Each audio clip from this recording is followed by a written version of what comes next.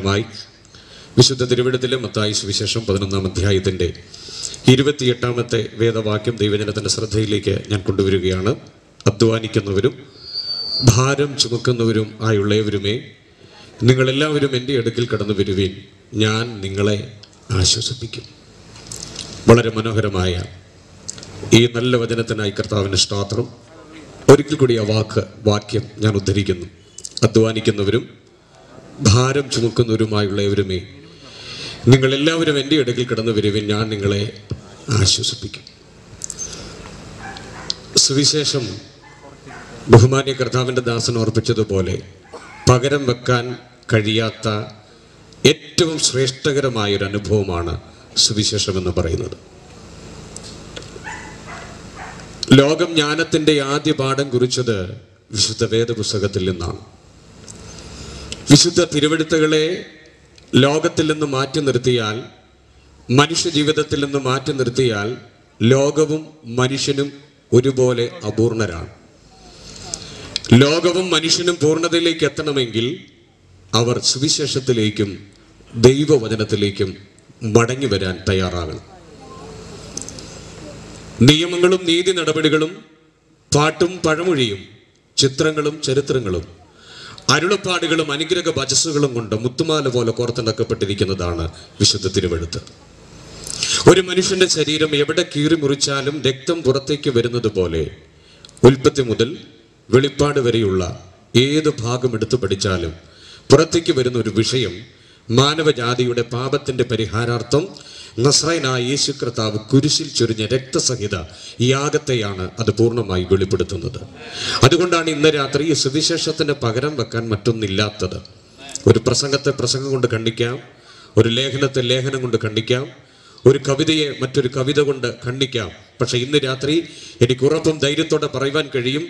ഒരു മതത്തിനോ തത്വസംഹിതകൾക്കോ ഉലകത്തിൽ പ്രത്യക്ഷമായ ഏത് സാഹചര്യങ്ങൾക്കും ഖണ്ഡിക്കാൻ കഴിയാത്ത ഒരു യാഥാർത്ഥ്യം ഈ ഭൂമിയിൽ നൽകപ്പെട്ടിട്ടുണ്ടെങ്കിൽ അത് സത്യനിത്യ സുവിശേഷമായതുകൊണ്ട് ഇന്ന് രാത്രി ഞാൻ കർത്താവിന് സ്തോത്രം ചെയ്യുകയാണ്. ദൈവത്തിന് മഹത്വം കരയറ്റുകയാണ് സ്തോത്രം.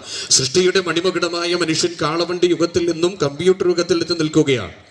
ശിലായുഗത്തിലെ ശീലങ്ങളെ മാറ്റി ഈ ശാസ്ത്രയുഗത്തിൽ മനുഷ്യൻ കാര്യങ്ങളൊക്കെ ശീഘ്രം നിർവഹിക്കുന്നു. പഴയതിനെ തകർത്തിട്ട് പുതിയതൊന്ന് പണിയുവാൻ എല്ലാം മനുഷ്യരും വ്യഗ്രതപ്പെട്ട് ഓടിക്കൊണ്ടിരിക്കുകയാണ്. പുറകിലേക്ക് ചിന്തിച്ചാൽ പഴമ മാറി മാറിപ്പോയിക്കൊണ്ടിരിക്കുന്നു. ഓലമേഞ്ഞ വീടുകൾ ഒരു കാലഘട്ടങ്ങളിൽ സുലഭമായി കാണുമായിരുന്നു. പക്ഷെ ഇന്ന് ഓലമേഞ്ഞ വീടുകൾ ഇല്ല എന്ന് വേണം പറയാൻ. അതൊക്കെ വഴിമാറി. എന്തിന്? ഓടിട്ട വീടുകൾക്ക് വഴിമാറി. ഓടിട്ട വീടുകൾ കോൺക്രീറ്റ് സൗധങ്ങൾക്കായി വഴിമാറി. വാർക്ക കെട്ടിടങ്ങൾക്കായി വഴിമാറി. ഇന്ന് ഉത്തുംഗ സംഘങ്ങളായ വലിയ ഫ്ളാറ്റ് സമുച്ചയങ്ങൾ ഉയർന്നു വരുന്നു. പഴമയിൽ നിന്ന് പുതിയതിലേക്ക് മനുഷ്യൻ ഓട്ടപ്പാച്ചിൽ നടത്തിക്കൊണ്ടിരിക്കുമ്പോൾ ഇന്ന് രാത്രി ഞാൻ ഉറക്കെ വിളിച്ചു പറയട്ടെ. അവൻ പഴമയും പുതുമയും ഒരുപോലെ നിലനിർത്തിക്കൊണ്ട് അവൻ കാലത്തിന്റെ കോലം കെട്ടലിനകത്ത് ഒരിക്കൽ പോലും മാറ്റി പറയാത്ത ഒരു വചനം ഉലകത്തിൽ ലഭ്യമായിട്ടുണ്ടെങ്കിൽ അത് സുവിശേഷമാണെന്നോർത്ത് ഇന്ന് രാത്രി ദൈവത്തിന് സ്തോത്രം ചെയ്യുന്നു. കർത്താവിന്റെ മകത്തം കരുതുന്നു. കാലം മാറട്ടെ കോലം മാറട്ടെ. ഈ ലോകത്തിന്റെ സകല വ്യവസ്ഥകൾ മാറിപ്പോയാലും മാറ്റമില്ലാതെ നിലനിൽക്കുന്ന സത്യ സുവിശേഷത്തിനായി നിത്യ സുവിശേഷത്തിനായി ഇന്ന് രാത്രി ഞാൻ ദൈവത്തിന് സ്തോത്രം ചെയ്യുന്നു. കർത്താവിന്റെ മകത്തം കരേറ്റുകയാണ് ബദ്ധന്മാർക്ക് വിടുതലും ദരിദ്രന്മാർക്ക് സുവിശേഷവും നിരാശിതർക്ക് പ്രത്യാശയും രോഗികൾക്ക് സൗഖ്യമായി. ലോകത്തിലേക്ക് കടന്നു വന്ന സർവശക്തനായ കർത്താവ് നരഭോജികളെ നരസ്നേഹികളാക്കി ക്രൂരന്മാരെ സേവകന്മാരും കുഞ്ഞാടുകളുമാക്കി സമശിഷ്ടങ്ങൾക്ക് വേണ്ടി അകമഴിഞ്ഞ ആലംബഹീനർക്ക് വേണ്ടി സേവനങ്ങൾ ഏർപ്പെട്ടവർക്ക് വേണ്ടി തന്റെ ജീവിതം മുറ്റുമായി വിട്ടുകൊടുത്ത നസ്രൈനായ യേശു കർത്താവിന്റെ മഹാസാന്നിധ്യമോർത്ത് ഞാൻ ദൈവത്തിന് സ്തോത്രം ചെയ്യുന്നു. ചോരച്ചൊരിച്ചുള്ള വിപ്ലവം തോക്കിൻകുടിലൂടെ രാഷ്ട്രീയം നിലറുന്ന മാക്സിയൻ രക്തരൂക്ഷത വിപ്ലവത്തെക്കാൾ കിടയുറ്റ തികവുറ്റ ശക്തിയുള്ള ഓജസ്സുള്ള മികവുള്ള ഒരേ ഒരു സത്യം ഉലകത്തിൽ ലഭ്യമായത് ഈ സുവിശേഷ സത്യമായതുകൊണ്ട് ആ സുവിശേഷത്തിന്റെ സകാരസത്തയായ ലോകൈക രക്ഷകനായ യേശു കർത്താവിനെ ഇന്ന് രാത്രി ഉയർത്തുവാൻ ഈ പബ്ലിക് സ്ഥലത്തിൽ ലഭ്യമായ ഭാഗ്യ പദവിയോർത്ത് ഞാൻ ദൈവത്തിന് സ്തോത്രം ചെയ്യുന്നു. കർത്താവിന് മകത്തം സ്തോത്രം. നമ്മുടെ കർത്താവിന്റെ തുല്യം. കർത്താവ് മാത്രമേ ഉള്ളൂ. ആയിരക്കണക്കിന് പുസ്തകങ്ങൾ ലോകത്തിലുണ്ട്. ആ പുസ്തകങ്ങൾ പ്രതിപാദിക്കുന്ന ചരിത്ര പുരുഷന്മാർ പുണ്യപുരുഷന്മാർ ആരോ ആയോധന കലാവീരന്മാർ ഉരുക്കുപള്ളി കൊണ്ട് ഉലകം ചവച്ചരച്ച യുഗപ്രഭാവന്മാർ ഒരുപാട് പട്ടികൾ നീണ്ടു നിൽപ്പുണ്ട്. പക്ഷേ അവരെ ആരെയും പ്രസംഗത്തിന്റെ കേന്ദ്ര ബിന്ദുവായി എടുക്കാതെ ഐ മീൻ ഉലകത്തിൽ ലഭ്യമായ ഇതര മതഗ്രന്ഥങ്ങളിൽ നിന്ന് വാക്കുകൾ ഉദ്ധരിക്കാതെ സാക്ഷാൽ തിരുവെടുത്തിൽ വിശുദ്ധ വേദപുസ്തകത്തിൽ നിന്ന് വാക്യം ഉദ്ധരിക്കുകയും ആ തിരുവെടുത്തിന്റെ സകാരസത്തയായ അമിത്വാത്വികവും ധാർമ്മികമായ ഗുണങ്ങളുടെ സകാരസത്തയായി നിലനിൽക്കുന്ന ദൈവത്തിൽ മാത്രം ആരോപിതമായിരിക്കുന്ന സർവവല്ലഭത്വം സർവജ്ഞാനത സർവശക്തി അനന്തത അനന്യത അമർത്യത സത്യം നീതി വിശുദ്ധി ഇതെല്ലാം ഉൾക്കൊണ്ട സമസ്തകാരനായ സർവാരാധ്യനായ ലോകൈക രക്ഷകനായ യേശു ക്രിസ്തുവിനെ എന്റെ പ്രസംഗത്തിന്റെ കേന്ദ്രബിന്ദുവായി എടുക്കുവാൻ ഒറ്റ കാരണമേ ഉള്ളൂ യേശു ക്രിസ്തുവിന് തുല്യം യേശു മാത്രം. സുവിശേഷത്തിന് തുല്യം. സുവിശേഷം മാത്രം. ദൈവവചനത്തിന് തുല്യം. ദൈവവചനം മാത്രം. സ്തോത്രം. അതുകൊണ്ടാണ് ഇന്ന് രാത്രി ഏതും മനുഷ്യനും മനസ്സിലാകുവാൻ തക്കവണ്ണം ആശ്വാസത്തിന്റെ അലയടികൾ അവൻ ഇവിടെയും മുഴങ്ങുന്നത് എന്താണ്? അധ്വാനിക്കുന്നവരും ഭാരം ചുമക്കുന്നവരും ആയുള്ള ഏവരുമേ.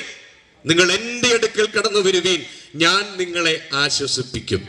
കാരുണ്യമാർന്ന കണ്ണുകളും വരദാന സദൃശമായ കരങ്ങളും ആർദ്ര മനസ്സുള്ള മഷിഹ തന്റെ അടുക്കൽ കടന്നു വന്ന ദുരിതബാധരിൽ ആരെയും വെറുതെ മടക്കി അയച്ചിട്ടില്ല. യേശുവിന്റെ അടുക്കൽ വന്നവരെല്ലാം അനുഗ്രഹിക്കപ്പെട്ടവരായി പോയി.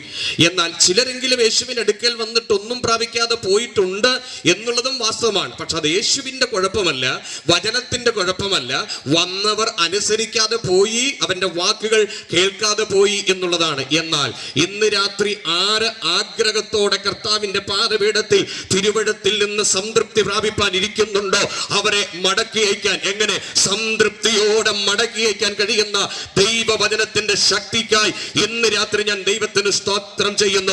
കർത്താവിന്റെ കയറ്റുക എന്താ ഇത്ര ധൈര്യത്തോടെ പറയുന്നത്? അതിനും വേദപുസ്തകത്തിനകത്ത് നമുക്ക് കാണുവാൻ കഴിയുന്നുണ്ട്. അവന്റെ അടുക്കൽ വന്നവരെല്ലാം അനുഗ്രഹിക്കപ്പെട്ടിട്ടുണ്ട്. ഹെലനീയ സംസ്കാരത്തിനും റോമാ സാമ്രാജ്യത്തിന്റെ ലോകരാജ്യ മോഹത്തിനും ഇടയിൽ ഞെരുങ്ങിപ്പോയി ഇസ്രായേലിന്. ദൈവരാജ്യത്തിന്റെ വിളംബരം വിമോചനത്തിന്റെ കാഹളമാണ് ഊതിക്കൊടുത്തത്. തീ കത്തുന്ന പർവതത്തിലെ തീ പാറുന്ന പ്രമാണങ്ങൾക്ക് വേണ്ടി ദൂരമാറി നിൽക്കേണ്ടി വന്നവർ പർവത മുകളിൽ ഇരുന്നള്ളിയ യേശു കർത്താവിന്റെ മാതിരമുള്ള മൊഴികൾ ശ്രവിക്കേണ്ടതിന് പർവതത്തിന് മുകളിലേക്ക് ഓടിക്കയറുന്നു. ശ്രദ്ധിക്കണേ ഒരു ശക്തമായ പ്രമാണം നിലനിൽക്കുകയാണ് സാക്ഷാൽ ഈ ദൈവപുത്രനായ യേശു ക്രിസ്തുവിനെ കരങ്ങൾ നീട്ടി തൊടേണ്ടതിനും ആ ദൈവപുത്രന്റെ കരസ്പർശനം ഏൽക്കേണ്ടതിനും പുരുഷാരം മുകളിലേക്ക് ഓടിക്കയറുന്നത്. എന്താണ് പ്രമാണം? ദൈവസാന്നിധ്യം നിറഞ്ഞു നിൽക്കുന്ന പർവതത്തെ തൊടുന്നത് മനുഷ്യനായാലും മൃഗമായാലും അവയെ അവനെ കല്ലെറിഞ്ഞു കൊല്ലണമെന്ന പ്രമാണം നിലനിൽക്കുകയാണ് സാക്ഷാൽ ദൈവപുത്രന്റെ അരികിലേക്ക് പുരുഷാരം ഓടിക്കയറുന്നത്.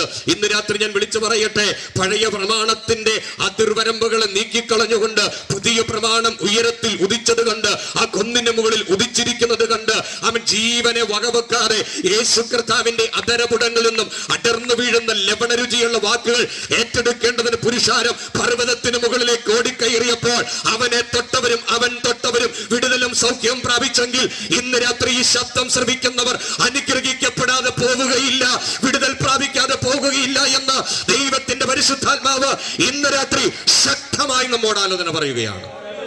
സ്തോത്രം. കാരണം സുവിശേഷം ചെന്നിടത്തൊക്കെ അത് ദൈവപ്രവൃത്തി നടത്തിയിട്ടുണ്ട്. ഇന്ന് രാത്രി മുഖവരകൾ ദീർഘിപ്പിക്കുന്നില്ല. വളരെ വേഗത്തിൽ വായിച്ച വചനത്തിന്റെ വിചിന്തനത്തിലേക്ക് എന്റെ ശ്രോതാക്കളുടെ ശ്രദ്ധയെ ഞാൻ കൊണ്ടുവരുവാൻ കർത്താവിൽ ശരണപ്പെടുകയാണ്. മൂന്ന് വിഷയങ്ങൾ മൂന്ന് ഭാഗങ്ങൾ. ഇതിനെ ഒന്ന് ക്രോഡീകരിച്ച് വ്യത്യസ്തമായ ചില ചിന്തകൾ നിങ്ങളുടെ ഉൾത്തടങ്ങളിൽ ഹൃദയത്തിന്റെ അകത്തേക്ക് കോറിയിടുവാൻ ദൈവത്തിന്റെ പരിശുദ്ധാത്മാവിൽ ഞാൻ ആഗ്രഹിക്കുകയാണ്. മൂന്ന് ചിന്തകൾ. ഒന്നാമത്തെ ചിന്ത യേശു കർത്താവിന്റെ അടികളിലേക്ക് ഒരുപാട് ആളുകൾ വന്നിട്ടുണ്ട്. അവരെല്ലാം കൂടെ ഒന്ന് എടുത്ത് അതിനകത്ത് നിന്ന് കടഞ്ഞെടുത്ത തെരഞ്ഞെടുത്ത മൂന്ന് വ്യക്തിത്വങ്ങളെ മൂന്ന് ആ അനുഭവങ്ങളെ മൂന്ന് ആശയങ്ങളെ നിങ്ങളുടെ മുൻപിലേക്ക് കൊണ്ടുവരുവാനാണ് ഇന്ന് രാത്രി ദൈവത്തിന്റെ പരിശുദ്ധാത്മാവിൽ ഞാൻ ശരണപ്പെടുന്നത്. അതിൽ ഒന്നാമത്തെ ചിന്തയാണ് യേശുക്രിസ്തുവിന്റെ അടുക്കിലേക്ക് വന്നവർ മാനസികമായി തകർന്നവർ യേശുവിന്റെ അടുക്കൽ വന്നു. മാനസികമായി തകർന്നവർ അടുക്കൽ വന്നു. കുറിവാക്യം നമ്മൾ വായിച്ചതാണ്. അധ്വാനിക്കുന്നവരും ഭാരം ചുമക്കുന്നവരും ആയുള്ളവരെ എന്റെ അടുക്കൽ വരുവീൻ ഞാൻ നിങ്ങളെ ആശ്വസിപ്പിക്കും. ദേ യേശുവിന്റെ അടുക്കിലേക്ക് ഒന്നാമത് വന്ന ഗ്രൂപ്പ് മാനസികമായി തകർന്നവരാണ് യേശുവിന്റെ അടുക്കിലേക്ക് വന്നത്. അതാരാണ് എന്ന് നമ്മൾ ചിന്തിക്കുവാൻ പോവുകയാണ് യേശുവും ശിഷ്യന്മാരും ഒരു പടകിൽ കയറി യേശു ശിഷ്യന്മാരോട് പറഞ്ഞു നാം അക്കരയ്ക്ക് പോകാം. അക്കരയ്ക്ക് പോകാൻ തയ്യാറെടുത്ത് അവർ പടകിൽ കയറിയിരുന്ന് യാത്ര ആരംഭിക്കുന്നു. തുടക്കം ശാന്തം തുടക്കം ഗംഭീരം ഒരു പ്രശ്നവുമില്ല. എല്ലാം മനോഹരമായി മുൻപോട്ട് പോകുന്ന സാഹചര്യങ്ങളാണ്. കുറച്ച് മുൻപോട്ട് പോയി അല്പം കഴിഞ്ഞപ്പോൾ കടൽ പ്രക്ഷുബ്ധമാകുവാൻ തുടങ്ങി കാറ്റടിക്കുവാൻ തുടങ്ങി പ്രതികൂലത്തിന്റെ തിരമാലകൾ അടിക്കുവാൻ തുടങ്ങി. അവിടെയുണ്ടായ സാഹചര്യങ്ങളൊക്കെ തിരുവിടത്തിനെ കുറിച്ച് ചിന്തിക്കുന്ന അപഘാതം ചിന്തിച്ചുകൊണ്ട് അതിനെക്കുറിച്ച് ആലോചിക്കുന്നവർക്ക് വ്യക്തമായി മനസ്സിലാക്കപ്പെടുവാൻ കഴിയുന്ന കാര്യമാണ്. ആ തടാകത്തിൽ ആഞ്ഞടിച്ച പ്രതികൂലത്തിന്റെ കാറ്റുകളെ തരണം ചെയ്ത് ആടിയുലഞ്ഞ പടകിനെ ശാന്തമാക്കി അലറിക്കരഞ്ഞ ശിഷ്യന്മാരെ സമാധാനപ്പെടുത്തി. നസ്രയനായ യേശു കർത്താവ് ഗരസേന്യ ദേശത്തേക്ക് അഥവാ ഗദര ദേശത്തേക്ക് രണ്ടര ഗോത്രം എന്നറിയപ്പെടുന്ന പ്രവിശ്യയിൽ ഉൾപ്പെട്ട രൂപൻ ഗോത്രവും ഗാദു ഗോത്രവും മനശയുടെ പാതി ഗോത്രവും കൂടെ സമന്വയിപ്പിച്ചിട്ടുള്ള രണ്ടര ഗോത്രക്കാർ തിങ്ങിപ്പാർക്കുന്ന സ്ഥലമായ പത്ത് പട്ടണങ്ങളാൽ ചുറ്റപ്പെട്ട് കിടക്കുന്ന ഗദരയിലേക്ക് ദസ്രൈന യേശു കർത്താവ് കാലുകുത്തുമ്പോൾ ഒരു മനുഷ്യൻ അവൻ യേശുവിന്റെ അടുക്കലേക്ക് ഓടി വരികയാണ്. അവന്റെ പ്രത്യേകതകൾ മൂന്നാണ്. ഒന്ന് വസ്ത്രം ധരിച്ചിട്ടില്ല. രണ്ട് വീട്ടിൽ പാർക്കുന്നവനല്ല. മൂന്ന് ശവക്കല്ലറകളിൽ പാർക്കുന്നവനാണ്. കൂർത്ത കല്ലുകളും കയ്യിലെടുത്തുകൊണ്ട് വസ്ത്രം ധരിക്കാതെ വീട്ടിൽ പാർക്കാത്തവൻ കല്ലറയിൽ പാർക്കുന്നവൻ ഓടി യേശുവിന്റെ അടുക്കലേക്ക് വന്നിട്ട് ചോദിക്കുന്ന ചോദ്യം ഇതാണ്. നാമിൻ മഹോന്നതനായ ദൈവത്തിന്റെ പുത്ര എനിക്കും നിനക്കും തമ്മിൽ എന്ത് സമയത്തിന് മുൻപ് നീ എന്നെ ദണ്ഡിപ്പിക്കുവാൻ വന്നിരിക്കുന്നു? കണ്ടോ? മാനസികമായി തകർന്ന ഒരുവൻ യേശുവിന്റെ അടുക്കിലേക്ക് വരികയാ. അവൻ യേശുവിനെ അഭിമുഖീകരിക്കുക ഇന്ന് രാത്രി ഈ തിരുവചനം കേട്ടുകൊണ്ടിരിക്കുന്ന വ്യക്തി ജീവിതങ്ങളോട് ദൈവത്തിന്റെ പരിശുദ്ധയാത്മാവിൽ ഞാൻ വിളിച്ചു പറയട്ടെ. മാനസികമായ തകർച്ചയും വെല്ലായ്മയും അനുഭവപ്പെടുന്നവർ ഇന്ന് രാത്രി എന്റെ ജീവിതം എങ്ങനെ മുൻപോട്ട് പോകുമെന്ന് വ്യാകുലതയോടെ ആകുലതയോടെ അവൻ മണിക്കൂറുകൾ തള്ളി നീക്കുവാൻ പോലും കഴിയാതെ അവൻ രാത്രികാലങ്ങളിൽ അവൻ കണ്ണടച്ചാൽ പോലും ഉറക്കം വരാൻ കഴിയാതെ ഒരു വല്ലാത്ത സ്ഥിതിവിശേഷത്തിലൂടെ കടന്നു പോകുന്ന ചില ജീവിതങ്ങൾ ഇന്ന് രാത്രി ശ്രദ്ധിക്കുന്നുണ്ടെന്ന് ദൈവാത്മാവെന്നെ ഓർമ്മിപ്പിക്കുമ്പോൾ വിളിച്ചു പറയട്ടെ. അവൻ ചുറ്റുപാട് ഇരുന്ന് കേൾക്കുന്ന പ്രിയമുള്ളവരെ നിനക്ക് ആശ്വാസം തരുവാൻ നിന്റെ തകർച്ചകളെ പരിഹരിക്കുവാൻ നിന്റെ മാനസിക ബലഹീനതകളെ ചുമന്നു മാറ്റുവാൻ കഴിയുന്ന ഒരുവനെ ഉലകത്തിൽ വന്നിട്ടുള്ളൂ ഒരു നസ്രയനായ യേശുവല്ലാതെ മറ്റൊരുവൻ ഇല്ല എന്ന് ഉറക്കെ പ്രഖ്യാപിച്ച് അവന്റെ ബാലവിടത്തിൽ ഇന്ന് രാത്രി വരുവാൻ തയ്യാറായാൽ വിടുതലുണ്ട് എന്ന് ദൈവത്തിന്റെ പരിശുദ്ധാത്മാവ് ശക്തമായ ആലോചന പറയുകയാണ്. സ്തോത്രം. ഇന്ന് രാത്രി ഒന്ന് ചിന്തിച്ചേ യേശു കർത്താവ് കയറിയ പടകുമായി ശിഷ്യന്മാർ യാത്ര ചെയ്യുമ്പോൾ അവിടെ രണ്ട് കരകൾ നമുക്ക് കാണാം. അവർ യാത്ര പുറപ്പെട്ട കരയും അവർ എത്തിച്ചേരേണ്ട കരയും എന്ന് പറഞ്ഞാൽ രണ്ട് കരകൾക്കിടയിലാണ് ഇപ്പോൾ ഒരു ചെറിയ പ്രശ്നം ഉണ്ടായിട്ടുള്ളത് രണ്ട് കരകൾക്കിടയിലാണ് പ്രശ്നം ഉണ്ടായിട്ടുള്ളത് ഒന്ന് ചിന്തിച്ചു നോക്കി. ഇന്ന് രാത്രി ദൈവത്തെ ആരാധിക്കുന്ന ദൈവത്തെ സേവിക്കുന്ന അമിനി സുവിശേഷത്തിന്റെ വചനം കേട്ടുകൊണ്ടിരിക്കുന്ന ജീവിതങ്ങളോട് ഞാൻ ഉറക്കെ വിളിച്ചു പറയാം. നസ്രൈനായ യേശു കർത്താവിന്റെ ഒരു വലിയ പ്രത്യേകത എന്ന് പറയുന്നത് അവൻ ഇരു കരകൾക്കിടയിലും പ്രവർത്തിക്കുന്ന ദൈവമാണ്. ഒരു കരയിൽ പ്രവർത്തിക്കുന്നവനല്ല മറുകരയിൽ മാത്രം പ്രവർത്തിക്കുന്നവനല്ല തുടക്കത്തിനും ഒടുക്കത്തിനും ഇടയ്ക്ക് നസ്രൈനായ കർത്താവെന്ന് ഇന്ന് രാത്രി ഞാൻ ഉറക്കെ പ്രഖ്യാപിക്കട്ടെ. രണ്ട് കരകൾക്കിടയിൽ ജനനം എന്ന കരയും മരണമെന്ന കരയ്ക്കും ഇടയിലാണ് ഇപ്പോൾ നാം ആയിരിക്കുന്നത്. ആ അനുഭവത്തിന്റെ പേരാണ് ജീവിതം. ജനനമെന്ന കര വിട്ട് മരണമെന്ന കരയിലേക്ക് യാത്ര ചെയ്യുന്നവർ ഇപ്പോൾ ഇടക്കാലത്തിലൂടെ പോയിക്കൊണ്ടിരിക്കുന്നു. എന്ന് പറഞ്ഞാൽ തുടക്കത്തിൽ അനുഭവിക്കപ്പെടാതിരുന്ന ചില പ്രത്യേകമായ വിഷയങ്ങൾ പ്രത്യേകമായ അനുഭവങ്ങൾ പ്രത്യേകമായ ചിന്താഗതികൾ നമ്മുടെ ജീവിത പടകിന് നേരെ ആഞ്ഞടിക്കുമ്പോൾ ഇന്ന് രാത്രി ഉറക്കെ പറയട്ടെ ഈ പ്രതികൂലത്തിന്റെ തിരമാലകളെ ശാന്തമാക്കി നീ എത്തേണ്ടിടത്ത് എത്തിച്ചേർക്കുവാൻ കഴിയുന്ന ഇടക്കാലത്തിൽ പ്രവർത്തിക്കുന്ന അവൻ തുടക്കത്തിന്റെയും ഒടുക്കത്തിന്റെയും ഇടയിൽ പ്രവർത്തിക്കുന്ന ഓമൻ ജനനം എന്ന കരയുടെയും മരണം എന്ന കരയുടെയും ഇടയിൽ ജീവിതത്തിൽ പ്രവർത്തിക്കുന്ന ഒരേ ഒരു രക്ഷകനെ ഉലകത്തിൽ വന്നിട്ടുള്ളൂ. അത് നസ്രയനായ യേശുവല്ലാതെ മറ്റൊരുവൻ ഇല്ല എന്ന് ഇന്ന് രാത്രി ഞാൻ ഉറക്കെ പറയട്ടെ. ലോകത്തിൽ മനുഷ്യൻ പാപത്തിന്റെ പരിഹാരത്തിന് വേണ്ടി ജീവിതത്തിൽ ഉണ്ടാകുന്ന പ്രശ്നങ്ങൾക്ക് വേണ്ടി അവൻ പരിഹാരത്തിന് വേണ്ടി ആഗ്രഹിച്ചു കൊണ്ടിരിക്കുന്നു. ഇന്ന് രാത്രി എനിക്ക് ഉറക്കെ പറയുവാൻ കഴിയുന്ന ഒരു യാഥാർത്ഥ്യമുണ്ട്.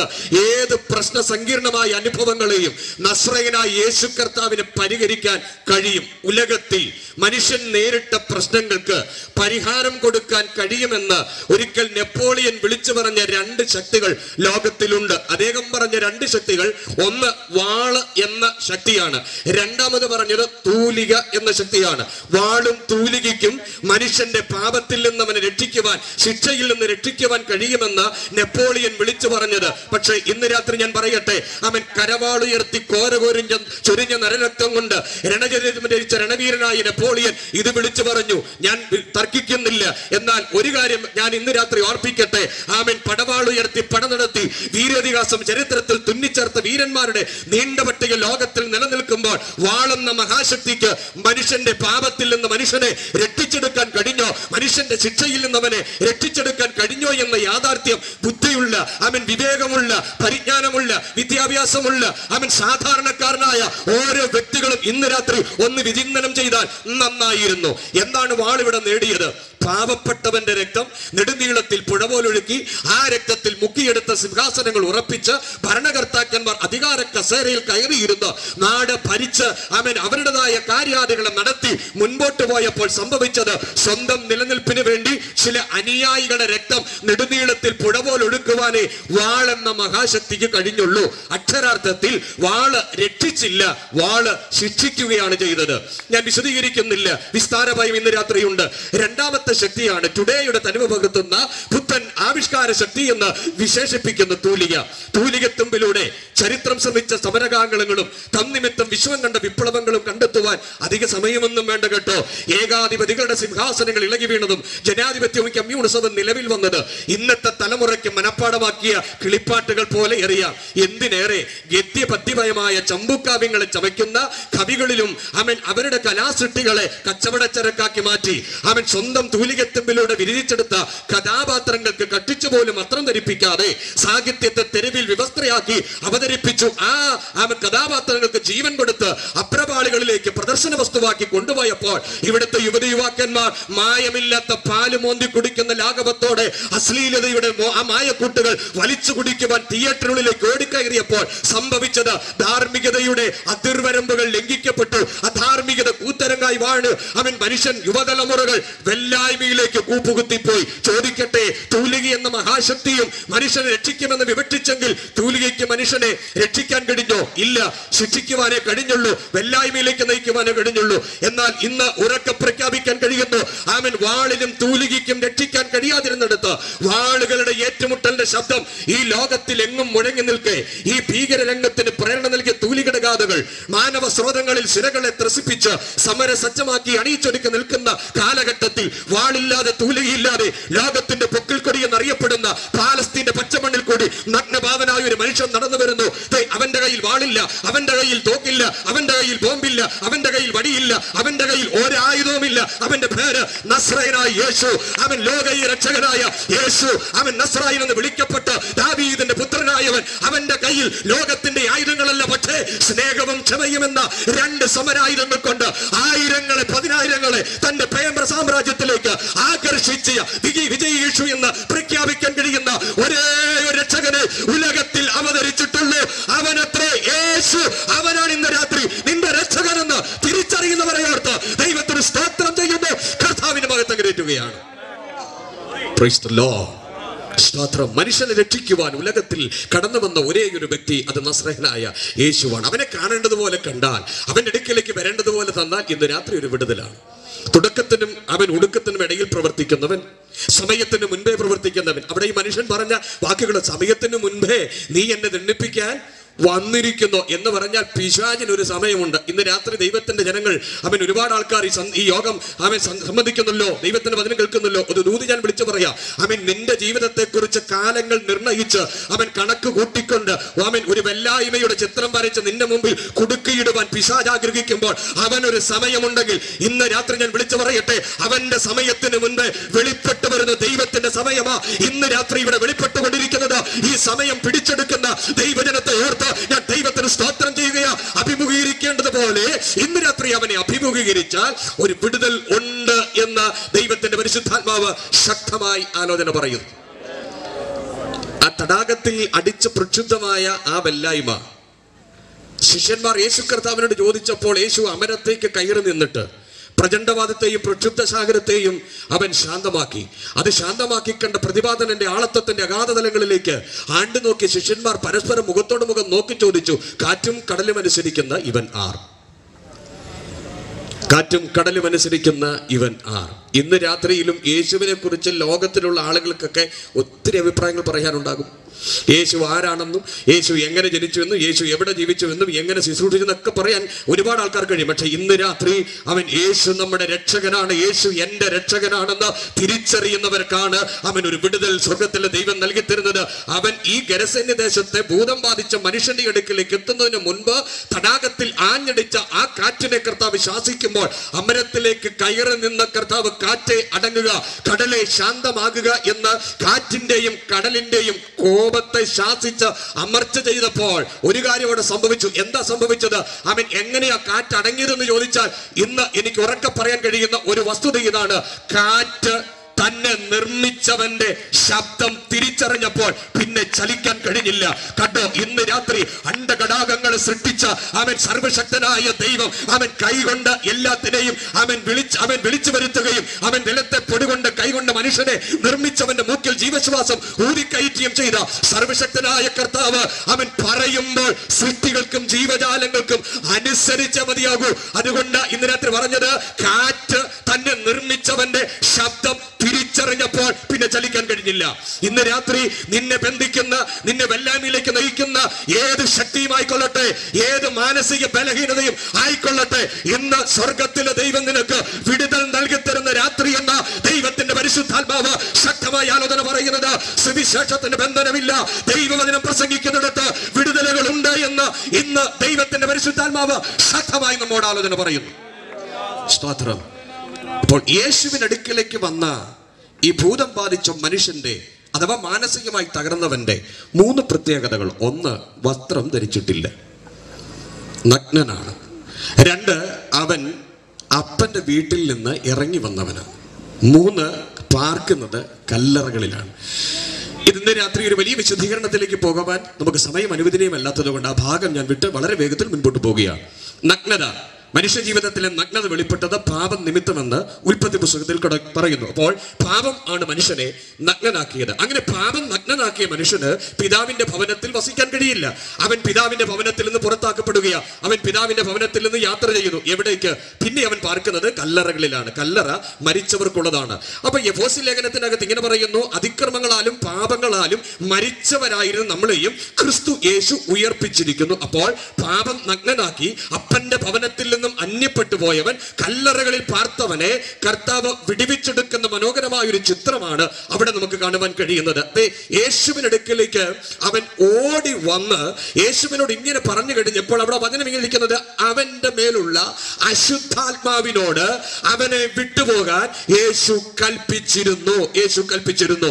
ഇന്ന് രാത്രി എത്ര പേർ വിശ്വസിക്കുന്നുണ്ട് നമ്മുടെ കർത്താവ് അവൻ പ്രസന്റൻസിൽ പ്രവർത്തിക്കുന്ന അവൻ ദൈവമാണെന്ന് മാത്രം ചിന്തിക്കരുത് അവൻ ഇന്നലകളിലെ ദൈവമാണ് ഇന്നിന്റെ ദൈവമാണ് നാളെയുടെയും ദൈവമാണ് അവൻ പാസ്റ്റിൽ പ്രവർത്തിച്ചിട്ടുണ്ടെങ്കിൽ പ്രസന്റിൽ പ്രവർത്തിക്കുന്നവനാണെങ്കിൽ ഫ്യൂച്ചറിലും പ്രവർത്തിക്കുന്ന ദൈവമാണ് ഇങ്ങനെ ത്രികാലത്തിൽ പ്രവർത്തിച്ച് മനുഷ്യനെ ഉദ്ധരിക്കാൻ കഴിയുന്ന ഒരേ ഒരു ഉദ്ധാരകൻ ഒരേ ഒരു രക്ഷകൻ ഉലകത്തിൽ അവതരിച്ചത് നസ്രനായ യേശുവായതുകൊണ്ട് അവനെ സ്വീകരിച്ച് അവന്റെ മക്കളാകാൻ ഭാഗ്യം ലഭിച്ച ദൈവജനമ കരങ്ങൾ ഉയർത്തി കർത്താവിന് സ്തോത്രഗാനം പാടിയാട്ടെ Praise ഹാലൂയാ. Hallelujah. കണ്ടോ? അപ്പോൾ മൂന്ന് അനുഭവങ്ങളെ അറിയുന്ന സർവശക്തനായ ദൈവം അവനെ വിടിവിച്ച് അവന്റെ ആലയത്തെ എന്റെ പ്രസംഗ ചിന്തയിൽ എന്റെ പ്രസംഗ ഭാഷയിൽ പറഞ്ഞാൽ കഴിഞ്ഞ ദീർഘവർഷങ്ങളായി ദൈവത്തിന്റെ ആലയത്തെ പിടിച്ചടക്കി സ്വന്തം വാസസ്ഥലമാക്കി വെച്ച ആറായിരത്തിലധികം ഭൂതാത്മ ശക്തികളെ അവന്റെ ശരീരത്തിൽ നിന്ന് ഇറക്കി വിട്ടിട്ട് തന്റെ ആലയം തിരിച്ചു പിടിക്കുന്ന ദൈവത്തിന്റെ മഹാകരുണയോർത്ത് ഇന്ന് രാത്രി ഞാൻ ദൈവത്തിന് സ്വോത്രം ചെയ്യുന്നു. സ്നേഹിത നിന്റെ ശരീരം ദൈവത്തിന്റെ ആലയമെന്ന് തിരിച്ചറിയാതെ കാണാതെ പോകരുത്. ആ ദൈവാലയത്തെ നശിപ്പിക്കുന്ന ഒരു പ്രവൃത്തിയും പാപത്തിന്റെ പ്രവൃത്തികൾ നിന്റെ ജീവിതത്തിൽ ഉണ്ടാകരുത് എന്ന് ഇന്ന് ദൈവാത്മാവ് ശക്തമായി ആലോചന പറയുകയാണ്.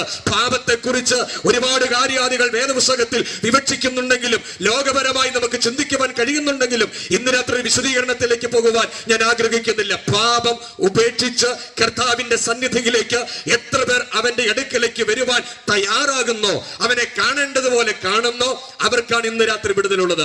യേശുവിന്റെ ഈ മനുഷ്യൻ വന്നപ്പോൾ മഹോന്നതനായ ദൈവത്തിന്റെ പുത്ര എനിക്കും നിനക്കും തമ്മിൽ എന്ത് സമയത്തിന് മുൻപേ എന്നെ ദണ്ഡിപ്പിക്കാൻ വന്നോ എന്ന് ചോദിച്ചിട്ടാണ് വന്നതെങ്കിൽ പോലും ഇന്ന് രാത്രി ഒരു ചോദ്യം ചോദിക്കുക എന്തിനാണ് യേശു അവിടേക്ക് കാലുകുത്തിയത് എന്ന് ചോദിച്ചാൽ രണ്ട് കാരണത്തിനാണെന്ന് ഞാൻ പറയും. എന്താ രണ്ട് കാരണം? ഒന്ന് നാളുകളായി തന്റെ ആലയമായ ആ മനുഷ്യ ശരീരത്തെ കീഴടക്കി വെച്ച ആ പൈശാചിക ശക്തികളിൽ നിന്ന് തന്റെ ആലയം തിരിച്ചു പിടിക്കുക അത് ഒന്നാമത്തെ കാര്യം.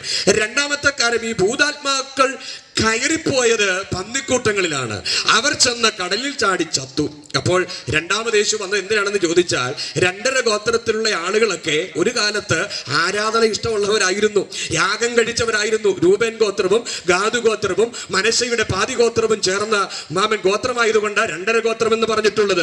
അവർ ആരാധിക്കുന്നവരായിരുന്നു. അവർ ആട് മേയിച്ച് ജീവിതകാലം മുൻപോട്ട് പോകുന്നവരായിരുന്നു. പക്ഷേ പിൽക്കാലങ്ങളിൽ അവർ ആരാധന മറന്നു. അവർ ദൈവത്തെ സ്തുതിക്കാൻ മറന്നു.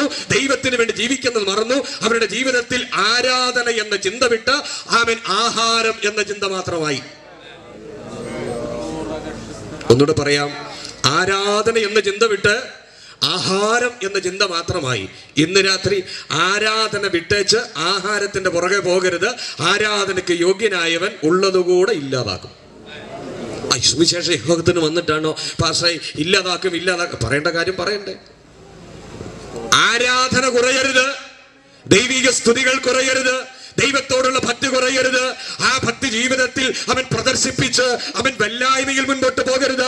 അനുഭവമാകുന്ന ആരാധന ദൈവത്തിന് അർപ്പിച്ചുകൊണ്ട് മുൻപോട്ട് യാത്ര ചെയ്യുമ്പോൾ ആഹാരത്തിന്റെ കാര്യങ്ങൾ ക്രമീകരിപ്പാൻ സർവശക്തനായ ദൈവം മതിയായ ദൈവമാ. അതുകൊണ്ടാണ് ഇവർ ആരാധന വിട്ട് ആഹാര ചിന്തയോടെ പന്നിക്കൂട്ടങ്ങളെ മേയ്ക്കാൻ പോയപ്പോൾ കർത്താവ് ഭൂതാത്മാക്കളോട് പറഞ്ഞു പോയി അതിനകത്തേക്ക് കയറിക്കും. സ്വത്രം അതെല്ലാം കൂടെ ഓടിപ്പോയി കടലിൽ ചാടി ചത്തു. അപ്പോൾ ഒരു ദേവദാസൻ പറഞ്ഞ കാര്യം ഞാൻ ഇതിൽ ഓർക്കുന്നു ഓർക്കുന്നു. എന്താ? ഈ ആറായിരത്തിലധികം ഭൂതങ്ങൾ ഈ മനുഷ്യന്റെ ദേഹത്ത് ഇത്രയും നാളുകളായിട്ട് വാസിച്ചിട്ട് അവൻ ആത്മഹത്യ ചെയ്യണമെന്ന് തോന്നിയിട്ടില്ല. മാനസികമായി തകർന്നവനായിരുന്നു. പക്ഷെ ആ തകർച്ച അവനെ ആത്മഹത്യയിലേക്ക് നയിക്കാമായിരുന്നു. പക്ഷേ അത് നടന്നില്ല. പക്ഷേ അവിടെ രണ്ടായിരം പന്നികളാണുള്ളത്. അപ്പോൾ മൂരണ്ടാറ് മൂന്ന് ഭൂതങ്ങൾ വെച്ച് ഒരു പന്നിക്കകത്തേക്ക് കയറി അപ്പോൾ മൂന്ന് ഭൂതം ഒരു പന്നിക്കകത്തേക്ക് കയറിയപ്പോൾ ആ പന്നി ഓടിപ്പോയി ആത്മഹത്യ ചെയ്തു. അപ്പൊ മൂന്ന് ഭൂതം കയറിയ പന്നി ആത്മഹത്യ ചെയ്തു. ആറായിരം ഭൂതം കയറിയും ഇതുവരെ ആത്മഹത്യ ചെയ്യുന്നു എന്താണ് കാരണം എന്ന് ചോദിച്ചപ്പോൾ അടുത്ത അധ്യായത്തിൽ എഴുതിയിട്ടുണ്ട് ഈ ഭൂതം ബാധിച്ച മനുഷ്യൻ ദക്കപ്പൊലി നാട്ടിൽ സുവിശേഷകനായി മാറി. അവൻ കർത്താവിനെ പ്രസംഗിക്കാൻ തുടങ്ങി കർത്താവിനെ സാക്ഷിക്കാൻ തുടങ്ങി. ആറായിരം ഭൂതങ്ങൾ ഇന്ന് രാത്രി ഈ വചനം കേൾക്കുന്ന ചില ജീവിതങ്ങളുടെ ദൈവം ദൂത് പറയുന്നു. ദീർഘവർഷങ്ങളായി മാനസികമായ തകർച്ചകൾ നിന്നെ അലട്ടുന്നുണ്ട്. പക്ഷെ ഇതുവരെയും നിന്റെ ജീവൻ പോകാതിരുന്നത് പലപ്പോഴും നീ ജീവൻ നഷ്ടപ്പെടുത്താൻ ആഗ്രഹിച്ചിട്ടുണ്ട്. പക്ഷേ അത് സംഭവിക്കാതിരുന്നത് നിന്നെ കുറിച്ച് യേശുവിന് പദ്ധതിയുള്ളത് കൊണ്ട് ഇങ്ങനെ ഒരു പറമ്പായിരുന്ന അവൻ കൃഷി ചെയ്ത സ്ഥലം വെട്ടിത്തെളിച്ച് ഒരു സുവിശേഷ യോഗം ദീർഘവർഷങ്ങൾക്ക് ശേഷം ഇവിടെ നടത്തപ്പെട്ടതിന്റെ ഒറ്റ ഉദ്ദേശമുള്ള പ്രിയരെ ഇപ്പോഴാണ് നിന്റെ സമയം. യേശു നിന്നെ കാണാൻ വന്ന സമയമാ ഈ രാത്രി എന്ന ദൈവാത്മാവ് ശക്തമായി എന്ന് പറയുന്നത്. അവനെ കാണേണ്ടതുപോലെ ഇന്ന് രാത്രി നീ കണ്ടാൽ വിടുതലെന്ന ദൈവാത്മാവ് ശക്തമായി എന്ന് പറയുന്നത്. സ്തോത്രം സ്തോത്രം. ഈ യേശുവിനെ കാണേണ്ടത് പോലെ കണ്ടാൽ വിടുതലാണെന്ന് പറയാൻ കാരണമുണ്ട്. ഒരിക്കൽ യേശുവിന് അടുക്കലേക്ക് യേശു നടന്നു വരുമ്പോൾ നയിൻ പട്ടണത്തിലെ വിധവയുടെ മകനെയും ശവശരീരം അടക്കം ചെയ്യാൻ ചില ആളുകൾ വരുന്നു. ഞാൻ ആ ഭാഗം ചിന്തിച്ചപ്പോൾ ഉണ്ടായ ഒരു നാല് ചിന്തകൾ വളരെ വേഗത്തിൽ ഞാൻ നിങ്ങളോട് പറയാം. നാല് കൂടിക്കാഴ്ചകൾ അവിടെയുണ്ട്. നാല് കൂടിക്കാഴ്ചകൾ. ചിന്ത മാറിപ്പോകരുത്. യേശുവിനെ വാർദ്ധക്യം തന്റെ ജീവിതത്തെ ശരീരത്തെ അലട്ടിയപ്പോൾ കുറച്ചുനാൾ വിശ്രമ ജീവിതത്തിനായി അമേരിക്കയിലേക്ക് കപ്പൽ മാർഗം വരുമ്പോൾ അതേ കപ്പലിൽ അമേരിക്കയുടെ അന്നത്തെ പ്രസിഡന്റായ ടി തിയോഡ റൂസ്വെൽറ്റും ഉണ്ടായിരുന്നു. അമേരിക്കൻ തുറമുഖത്ത് കപ്പലെടുത്തപ്പോൾ അമേരിക്കൻ സൈന്യം വാദ്യഘോഷങ്ങളോടെ അമേരിക്കൻ പ്രസിഡന്റായ റൂസ്വെൽറ്റിനെ ആദരിച്ച് ബഹുമാനിച്ച് സ്വീകരിച്ച് തന്റെ കൊട്ടാരത്തിലേക്ക് കൊണ്ടുപോയി. ഈ കാഴ്ച ഈ കർത്തൃദാസന്റെ ഹൃദയത്തെ വളരെ വേദനിപ്പിച്ചു. അദ്ദേഹം ഇങ്ങനെ പറഞ്ഞു ദീർഘവർഷങ്ങൾ കർത്താവിന്റെ വേല ചെയ്ത് നമ്മുടെ സ്വന്തം രാജ്യത്തിലേക്ക് നമ്മൾ മടങ്ങി വന്നപ്പോൾ നമ്മെ സ്വീകരിക്കാനോ നമ്മെ ഒന്ന് പ്രോത്സാഹിപ്പിക്കാനോ ഒരാൾ പോലും വന്നില്ല. നായാട്ടിന് വേണ്ടി ആഫ്രിക്കയിലേക്ക് പോയിട്ട് മടങ്ങി വന്ന റൂസ്വെൽറ്റിനെ സ്വീകരിച്ച് ആനയിച്ച് കൊണ്ടുപോകാൻ ദേ അമേരിക്കൻ സൈന്യം വന്നത് കണ്ടില്ലേ എന്ന് പറഞ്ഞപ്പോൾ തക്ക സമയത്ത് സംസാരിക്കുന്ന വാക്കുകൾ വെള്ളിത്താലത്തിൽ പൊന്നാരങ്ങ പോലെ എന്ന തിരുവചനം പോലെ ദൈവഭക്തയായ കൃപയുള്ള ആ സഹോദരി അപ്പോൾ സംസാരിച്ച വാക്ക് ഇതാണ് അങ്ങ് എന്തിനാണ് ഭാരപ്പെടുന്നത്? ആമേൻ. അമേരിക്കൻ പ്രസിഡന്റായ റൂസ്വെൽറ്റ് വന്നത് അദ്ദേഹത്തിന്റെ സ്വന്തം രാജ്യത്തിലേക്കാണ്. അതുകൊണ്ടാണ് റൂസ്വെൽറ്റിനെ സ്വീകരിച്ച് ആനയിക്കാൻ അമേരിക്കൻ സൈന്യം വന്നത്. നമ്മൾ വന്നത് അമേരിക്കയിലാണെങ്കിലും ഇത് നമ്മുടെ സ്വന്തം സ്ഥലമല്ല ഇത് നമ്മുടെ സ്വന്തം രാജ്യമല്ല. എന്നാൽ ഒരിക്കൽ നമ്മൾ സ്വന്തം രാജ്യത്ത് ചെല്ലും സ്വന്തം പട്ടണത്തിൽ ചെല്ലും സ്വന്തം വീട്ടിലേക്ക് നമ്മൾ ചെല്ലും. അവിടെ നമ്മെ സ്വീകരിക്കാൻ വരുന്നത് അമേരിക്കൻ സൈന്യമല്ല. സ്വർഗീയ സൈന്യം മുഴുവൻ വന്ന് നമ്മെ സ്വീകരിച്ച് ആനയിച്ച് നമുക്കുള്ള കൊട്ടാരത്തിലേക്ക് കൊണ്ടുപോകുന്ന ഒരു ദിവസം ഉണ്ട് എന്ന് ആ കർത്തൃദാസനോട് പറഞ്ഞപ്പോൾ അവിടെ നിന്ന് അദ്ദേഹം ദൈവത്തെ സ്തുതിക്കാൻ തയ്യാറായി. ഇന്ന് ഈ പ്രത്യാശയുള്ള ദൈവമക്കൾക്ക് അതരം പൂട്ട് ദൈവത്തിൽ ഇരിക്കാൻ കഴിയില്ല.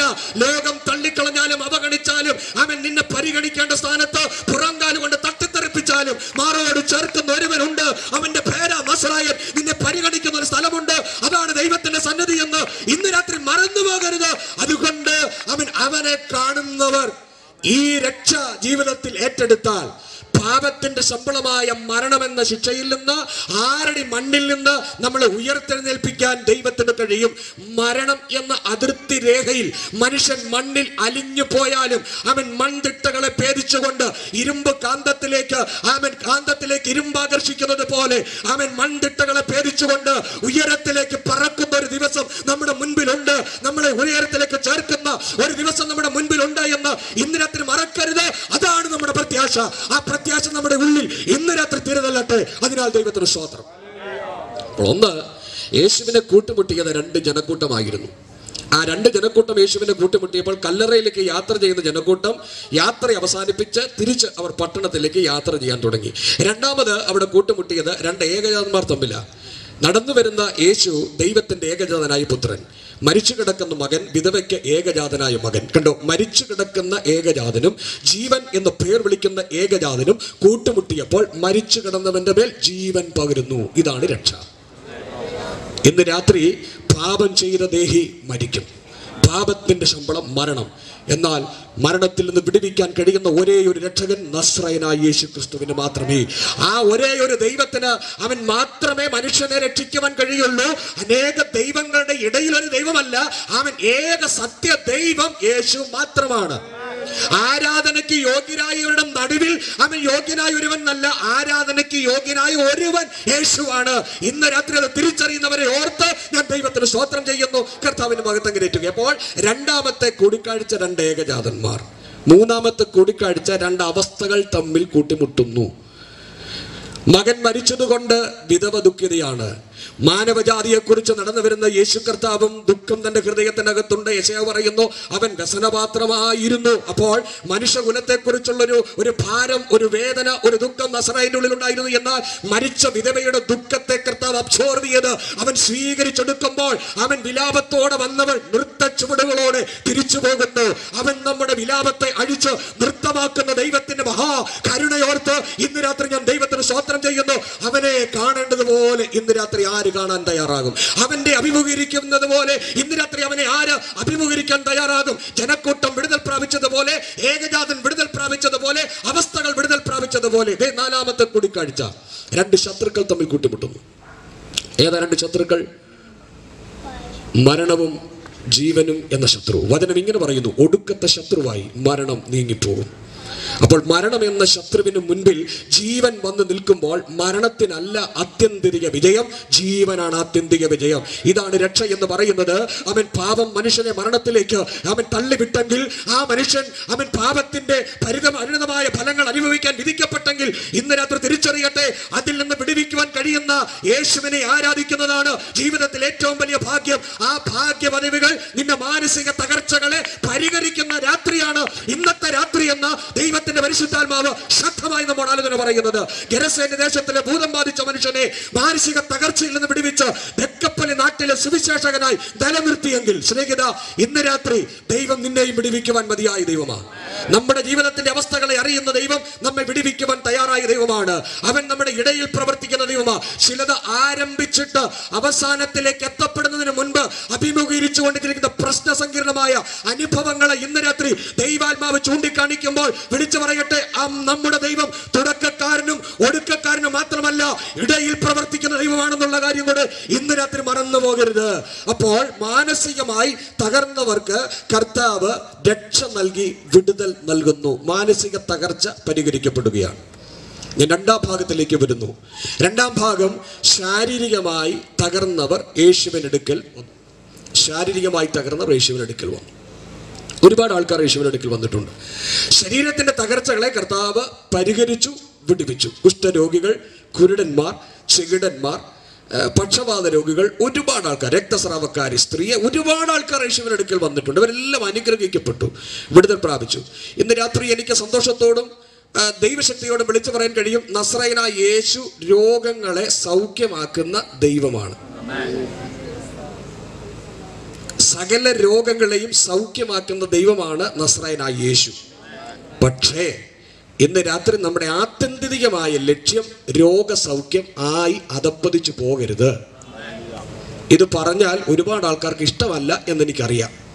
പക്ഷെ പറയാതിരിക്കാനും കഴിയാത്ത ഒരു സാഹചര്യമാണ് ഇപ്പോൾ നമ്മൾ അഭിമുഖീകരിച്ചു കൊണ്ടിരിക്കുന്നത് രോഗസൗഖ്യം കർത്താവ് തരും. യേശുവിനടുക്കലേക്ക് വന്ന സകല ശാരീരിക തകർച്ചകളെയും നസ്രൈന യേശു പരിഹരിച്ച ദൈവമാണ്. പക്ഷേ ഇന്ന് രാത്രി എന്റെ പ്രസംഗ വിഷയത്തിൽ എനിക്ക് ദൈവജനത്തോട് എന്നെ കേൾക്കുന്ന ആളുകളോട് അവൻ യേശു സൗഖ്യദായകനാണ് എന്ന് വിളിച്ചു പറയുന്നതിനോടൊപ്പം ഒരു കാര്യം കൂടെ വിളിച്ചു പറയാൻ ആഗ്രഹിക്കുന്നു. നമ്മുടെ ലക്ഷ്യം ശരീരത്തിന്റെ വിടുതൽ മാത്രമാകരുത് ആത്മാവിന്റെ രക്ഷയായിരിക്കണം പ്രധാനം. സ്വാതന്ത്ര്യം യേശു കർത്താവിനോട് കൂടെ ക്രൂശിൽ കിടന്ന രണ്ട് കള്ളന്മാർ ഈ കാലഘട്ടത്തിന്റെ പ്രാർത്ഥിക്കുന്ന ജനവിഭാഗത്തിന്റെ രണ്ട് പ്രതിനിധികളാണെന്ന് പറയുന്നതിൽ തെറ്റില്ല എന്നായി എനിക്ക് തോന്നുന്നത് എന്താ? രണ്ട് പ്രാർത്ഥനകൾ ആ ക്രൂശിൽ നിന്ന് പുറത്തേക്ക് വന്നു. ഒന്നാമത്തെ പ്രാർത്ഥന ഒരു കള്ളം പ്രാർത്ഥി യേശുവേ നീ ദൈവപുത്രനാണെങ്കിൽ നിന്നെയും രക്ഷിക്ക എന്നെയും ഞങ്ങളെയും രക്ഷിക്ക. യേശു ആ പ്രാർത്ഥനയ്ക്ക് മറുപടി കൊടുത്തിട്ടില്ല. അവന്റെ വിഷയം ശരീരത്തിന്റെ വിടുതല. അവൻ പറയുന്നു ഈ ക്രൂശിൽ കിടക്കുന്നത് എനിക്ക് സഹിക്കാൻ വയ്യ. ഈ ആടുകൾ അടിക്കപ്പെട്ട എന്റെ കൈകാലുകൾ വേദനിക്കുന്നു വേദനിക്കുന്ന ശരീരം കൊണ്ട് എനിക്ക് മുൻപോട്ട് പോകാൻ കഴിയില്ല. ഈ കഷ്ടത എനിക്ക് പറ്റില്ല ഈ പ്രയാസം എനിക്ക് പറ്റില്ല. അതുകൊണ്ട് യേശുവേ എങ്ങനെയെങ്കിലും എന്റെ ശരീരത്തിന് ഒരു വിടുതൽ വേണം. അപ്പോൾ ശരീരത്തിന്റെ വിടുതലിന് വേണ്ടി പ്രാർത്ഥിച്ചുകൊണ്ടിരിക്കുന്നവരുടെ പ്രതിനിധി എന്ന് വേണമെങ്കിൽ നമുക്ക് അവനെ പറയാം. ദേ രണ്ടാമത്തെ പ്രാർത്ഥന. അടുത്ത കളൻ പ്രാർത്ഥിക്കുന്നു. യേശുവേ എന്റെ ശരീരം ഈ ക്രൂശിൽ കിടന്ന് ഇങ്ങനെ അങ്ങ് പോയാലും എനിക്ക് വിഷയമില്ല. പക്ഷെ എനിക്ക് ഒറ്റ വിഷയമുള്ളൂ. നീ രാജത്വം പ്രാപിച്ചു വരുമ്പോ എന്നും കൂടെ നോർക്കണം അവന്റെ വിഷയം ശരീരത്തിന്റെ വിടുതലല്ല അവന്റെ വിഷയം ആത്മാവിന്റെ രക്ഷയാണ് റോമ ഗവൺമെന്റിന്റെ കിരാതമായ താടന പാടന ശക്തികൾക്ക് അവനെ മാനസാന്തരത്തിലേക്ക് നയിക്കാൻ കഴിഞ്ഞിട്ടില്ല. യഹൂദ പ്രമാണത്തിന്റെ വല്ലാത്ത മതസംഹിത നിയമങ്ങൾക്കും അവനെ രക്ഷയിലേക്കോ അവനെ മാനസാന്തരത്തിലേക്കോ നയിക്കപ്പെടുവാൻ കഴിഞ്ഞിട്ടില്ല. പക്ഷെ കണ്ടോ യേശു കർത്താവ് എന്ന രക്ഷകന്റെ സാന്നിധ്യം ഒറ്റ നോട്ടം അവന്റെ സാന്നിധ്യം അവനെ അവൻ അവന്റെ പാപത്തിനെ കുറിച്ചുള്ള ബോധ്യത്തിലേക്കും ആ പാപത്തിന്റെ പരിണിത ഫലം എന്താണെന്നുള്ള തിരിച്ചറിവിലേക്കും അത് മുഖാന്തരം ലഭ്യമാകുന്ന രക്ഷയെ കുറിച്ചൊക്കെ അവൻ മനസ്സിലാക്കി എന്ന് ഞാൻ ആ ഭാഗത്തിൽ ചിന്തിക്കുന്നത്. അവൻ പറയുന്നു യേശുവേ നീ സാധാരണക്കാരനല്ല ഞാൻ തിരിച്ചറിയുന്നു നീ രാജാതി രാജാവും കർത്താതി കർത്താവുമാ.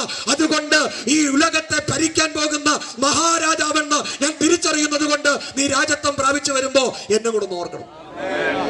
യേശു അവനോട് പറഞ്ഞു ഇന്ന് രാത്രി നീ എന്നോട് കൂടെ പരദീസയിലിരിക്കും. കണ്ടോ? അപ്പോൾ യേശു കർത്താവ് പ്രധാന പ്രാധാന്യം കൊടുത്തത് യേശു രോഗികളെ സൗഖ്യമാക്കി എന്നുള്ളത് ശരിയാണ്. പക്ഷെ അതിനേക്കാൾ യേശു പ്രാധാന്യം കൊടുത്തിട്ടുള്ളത് ആത്മാക്കളുടെ രക്ഷയാണ് കർത്താവ്. വന്നതും അതിനു വേണ്ടിയാ. അതുകൊണ്ടാണ് ശരീരത്തിന്റെ വിടുതലിന് വേണ്ടി പ്രാർത്ഥിച്ചവന് അപ്പോൾ മറുപടി കൊടുക്കാതെ അവൻ എന്നെ ഓർക്കണം എന്ന് പറഞ്ഞ ആത്മാവിന്റെ രക്ഷയ്ക്ക് വേണ്ടി കരുതിയവന് കർത്താവ് മറുപടി കൊടുത്തത്. സ്നേഹിത ഇന്ന് രാത്രി പറയാം ദൈവത്തെ ആരാധിച്ചും ദൈവത്തെ സേവിക്കും പ്രാർത്ഥിക്കുന്നവരുടെ എല്ലാവരുടെയും ഒട്ടുമിക്ക ആൾക്കാരുടെ ആത്യന്തിക ലക്ഷ്യം ശരീരത്തിന്റെ വിടുതൽ രോഗസൗഖ്യം ഉണ്ടാകണം. ഞാൻ രോഗസൗഖ്യത്തിനെതിരല്ല രോഗ ശുശ്രൂ ശാന്തി ശുശ്രൂഷകൾക്കും എതിരല്ല. അത് പ്രാപിച്ച അത് അനുഭവിച്ച വ്യക്തി തന്നെയാണ് ഞാനും. എന്നാൽ ഇന്ന് എനിക്ക് പറയാൻ കഴിയും ഒന്നാമത്തെ ലക്ഷ്യം ആത്മാവിന്റെ രക്ഷയും വിടുതൽ പക്ഷെ അതിച്ചൊരു ബുദ്ധിമുട്ടായതുകൊണ്ട് നമുക്ക് അതിനെ അങ്ങോട്ട് സ്വീകരിക്കാൻ കഴിയാത്തത്. പണ്ട് ഒരു അപ്പച്ചൻ കിടക്കിൽ കിടക്കുകയാണ് അദ്ദേഹത്തിന്റെ ഒരു ബാല്യകാല സുഹൃത്ത്. അദ്ദേഹം പ്രായം ചെന്ന ആളാണ്. ഇവരെ കണ്ടുമുട്ടി ഇവരെ ഒന്ന് കാണാൻ വേണ്ടി വീട്ടിലേക്ക് വരിക. അപ്പോൾ ചെറുപ്പത്തിൽ ഇവരെ രണ്ടുപേരും ഒരുപാട് മധുരം കഴിക്കുമായിരുന്നു. ലഡു ജിലേബി അലു വയ്ക്കായിരുന്നു ഇവർക്ക് ഇഷ്ടം. അതൊക്കെ പൈസ കിട്ടുമ്പോൾ മേടിക്കണം അപ്പോൾ ഈ തന്റെ സ്നേഹിതനെ കാണാൻ വരുന്ന സമയത്ത് ഈ സുഹൃത്തായ അപ്പച്ചൻ രണ്ട് കിലോ അലുവയും കുറച്ച് ജിലേബിയും ലഡു എല്ലാം മേടിച്ചുകൊണ്ടാണ് വരുന്നത് ഇദ്ദേഹത്തിന് ഷുഗർ ഭയങ്കര കൂടുതലുമാണ് അപ്പോൾ ഈ ജിലേബി ലഡു അലുവ എല്ലാം കൂടെ കൊണ്ട് സ്നേ- നിനക്ക് ഇത് ഇഷ്ടമായിരുന്നു എനിക്കറിയാം. അതുകൊണ്ട് നമ്മുടെ സ്നേഹം എന്തെന്ന് ഊട്ടി ഉറപ്പിക്കാൻ വേണ്ടി ഇതാ ഇരുന്ന് കഴിച്ചു എന്ന് പറഞ്ഞാൽ അത് കഴിച്ചു തീരുന്നതിന് മുമ്പേ ആ കിടക്കുന്ന പുള്ളി തീരും. കാരണം അപ്പച്ചന്റെ ആഗ്രഹവും അപ്പച്ചന്റെ ഇഷ്ടവും ലഡുവും ജിലേബിയും തിന്നാനാണെങ്കിലും ഡോക്ടർ പറഞ്ഞിരിക്കുന്ന ആവശ്യം എന്ന് പറയുന്നത് പാവയ്ക്ക ജ്യൂസാണ് പക്ഷെ പാവയ്ക്ക ജ്യൂസ് അപ്പച്ചന് ഇഷ്ടമാണോ? അല്ല അത് ഇച്ചിരി കയ്പാണ് അത് ഇറക്കാൻ ബുദ്ധിമുട്ടാണ് അത് ഇച്ചിരി പ്രയാസമാണ്. പക്ഷേ ആവശ്യം പാവയ്ക്ക ജ്യൂസ് ആണെങ്കിലും മനുഷ്യന്റെ ആഗ്രഹം മധുരം കഴിക്കണമെന്നാണ് ഇന്ന് രാത്രി ഞാൻ ഉദാഹരണം പറഞ്ഞ് മനസ്സിലായല്ലോ ശരീരത്തിന്റെ വിടുതൽ നമ്മുടെ ആഗ്രഹമാണെങ്കിലും ആവശ്യം ആത്മാവിന്റെ രക്ഷയായിരിക്കണം. ഇന്ന് രാത്രി മറക്കരുത്. ആഗ്രഹം പൂർത്തീകരിക്കാൻ ദൈവം വിശ്വസ്തന. പക്ഷെ ആവശ്യം എന്താണെന്ന് തിരിച്ചറിയണം.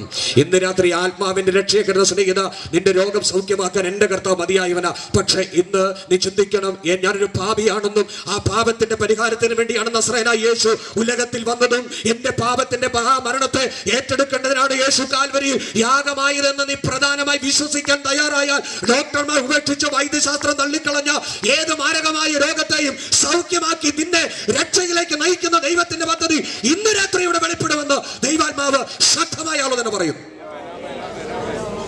ഇന്നേക്ക് ഇരുപത്തിരണ്ട് വർഷം മുമ്പ് കോട്ടയം മെഡിക്കൽ കോളേജിന്റെ ക്യാൻസർ വാർഡിന്റെ മൂന്നാമത്തെ ബെഡിൽ രണ്ട് മുക്കാൽ മാസം എന്റെ മാതാവ് ചികിത്സയിലായിരുന്നു ക്യാൻസർ ബാധിച്ചു.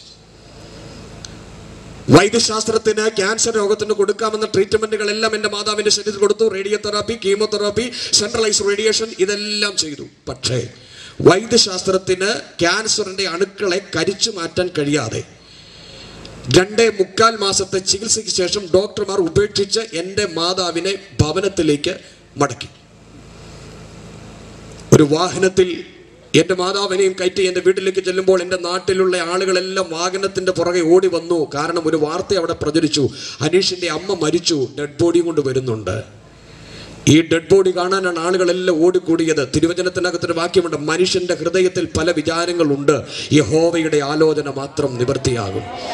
ലോകം മുഴുവൻ വെല്ലായ്മ ചിന്തിച്ച സ്ഥാനത്ത് ദൈവത്തോട് ഞാൻ പ്രാർത്ഥിച്ചു ദൈവമേ എന്റെ അമ്മയെ സൗഖ്യമാക്കാൻ അങ്ങേക്ക് മനസ്സുണ്ടെങ്കിൽ കർത്താവ് സൗഖ്യമാക്കണം. വൈദ്യശാസ്ത്രം തള്ളി ഡോക്ടർമാർ തള്ളി ഇനി ഒന്നും ചെയ്യാൻ കഴിയില്ല. ഏഴ് ദിവസം ഉപസിച്ച് പ്രാർത്ഥിക്കുവാൻ തീരുമാനിച്ചു. ഞാൻ വേഗത്തിൽ പറയാം സാക്ഷ്യം പറഞ്ഞ സമയം ദീർഘിപ്പിക്കുവാൻ ആഗ്രഹിക്കുന്നില്ല. ഏഴ് ദിവസത്തെ ഉപവാസ പ്രാർത്ഥനയുടെ ഒറ്റ പ്രാർത്ഥന വിഷയമേ ഉള്ളൂ.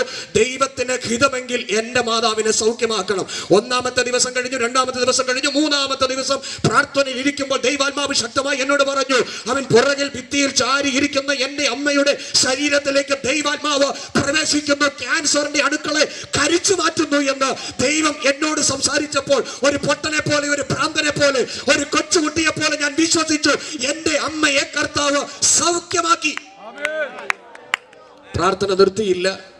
നാല് അഞ്ച് ആറ് ഏഴ് ദിവസത്തെ പ്രാർത്ഥന മുഴുവൻ പൂർത്തീകരിച്ച് എട്ടാമത്തെ ദിവസം കോട്ടയം മെഡിക്കൽ കോളേജ് ആശുപത്രിയിൽ എന്റെ അമ്മയെ ചികിത്സിച്ച ക്യാൻസർ രോഗത്തിന്റെ അസിസ്റ്റന്റ് പ്രൊഫസർ ആയിരുന്ന ഡോക്ടർ എ സുധാകരന്റെ അടുക്കൽ എന്റെ അമ്മയെ കൊണ്ടു കൊടുത്തു ഡോക്ടർ ഒന്ന് ചെക്കപ്പ് ചെയ്യണം. ഡോക്ടർ ചെക്കപ്പ് ചെയ്തു. ഇറങ്ങി വന്നിട്ട് എന്നോട് ചോദിച്ചു ഏത് ഹോസ്പിറ്റലിലാണ് നിന്റെ അമ്മയെ കൊണ്ടുപോയി ചികിത്സിപ്പിച്ചത്? ഞാൻ പറഞ്ഞു ഒരു ഹോസ്പിറ്റലും കൊണ്ടുപോയില്ല. ഞങ്ങൾ പ്രാർത്ഥിക്കുക മാത്രമാണ് ചെയ്തത്.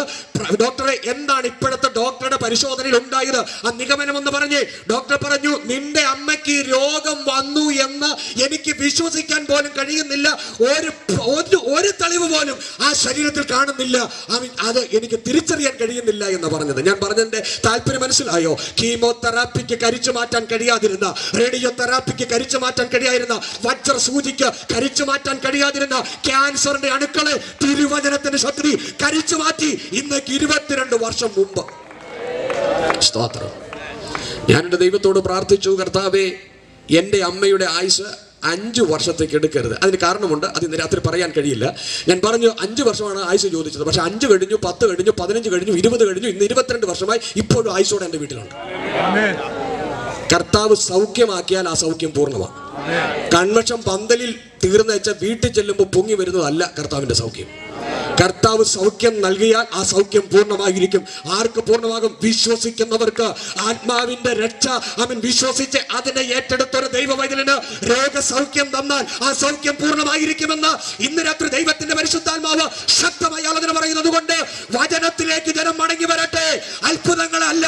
അവൻ അടയാളങ്ങളിലേക്കല്ല. ദൈവവചനത്തിലേക്ക് ജനം മടങ്ങി വരുവാൻ ഇന്ന് ദൈവാത്മാവ് ശക്തമായി ആലോചന പറയുന്നു. സ്തോത്രം. ഇന്ന് മനുഷ്യന് ഇഷ്ടമില്ലാത്തതും മടങ്ങി വരാൻ ആഗ്രഹിക്കാത്തതും തിരുവചനത്തിന്റെ യാഥാർത്ഥ്യങ്ങളിലേക്കാണ്.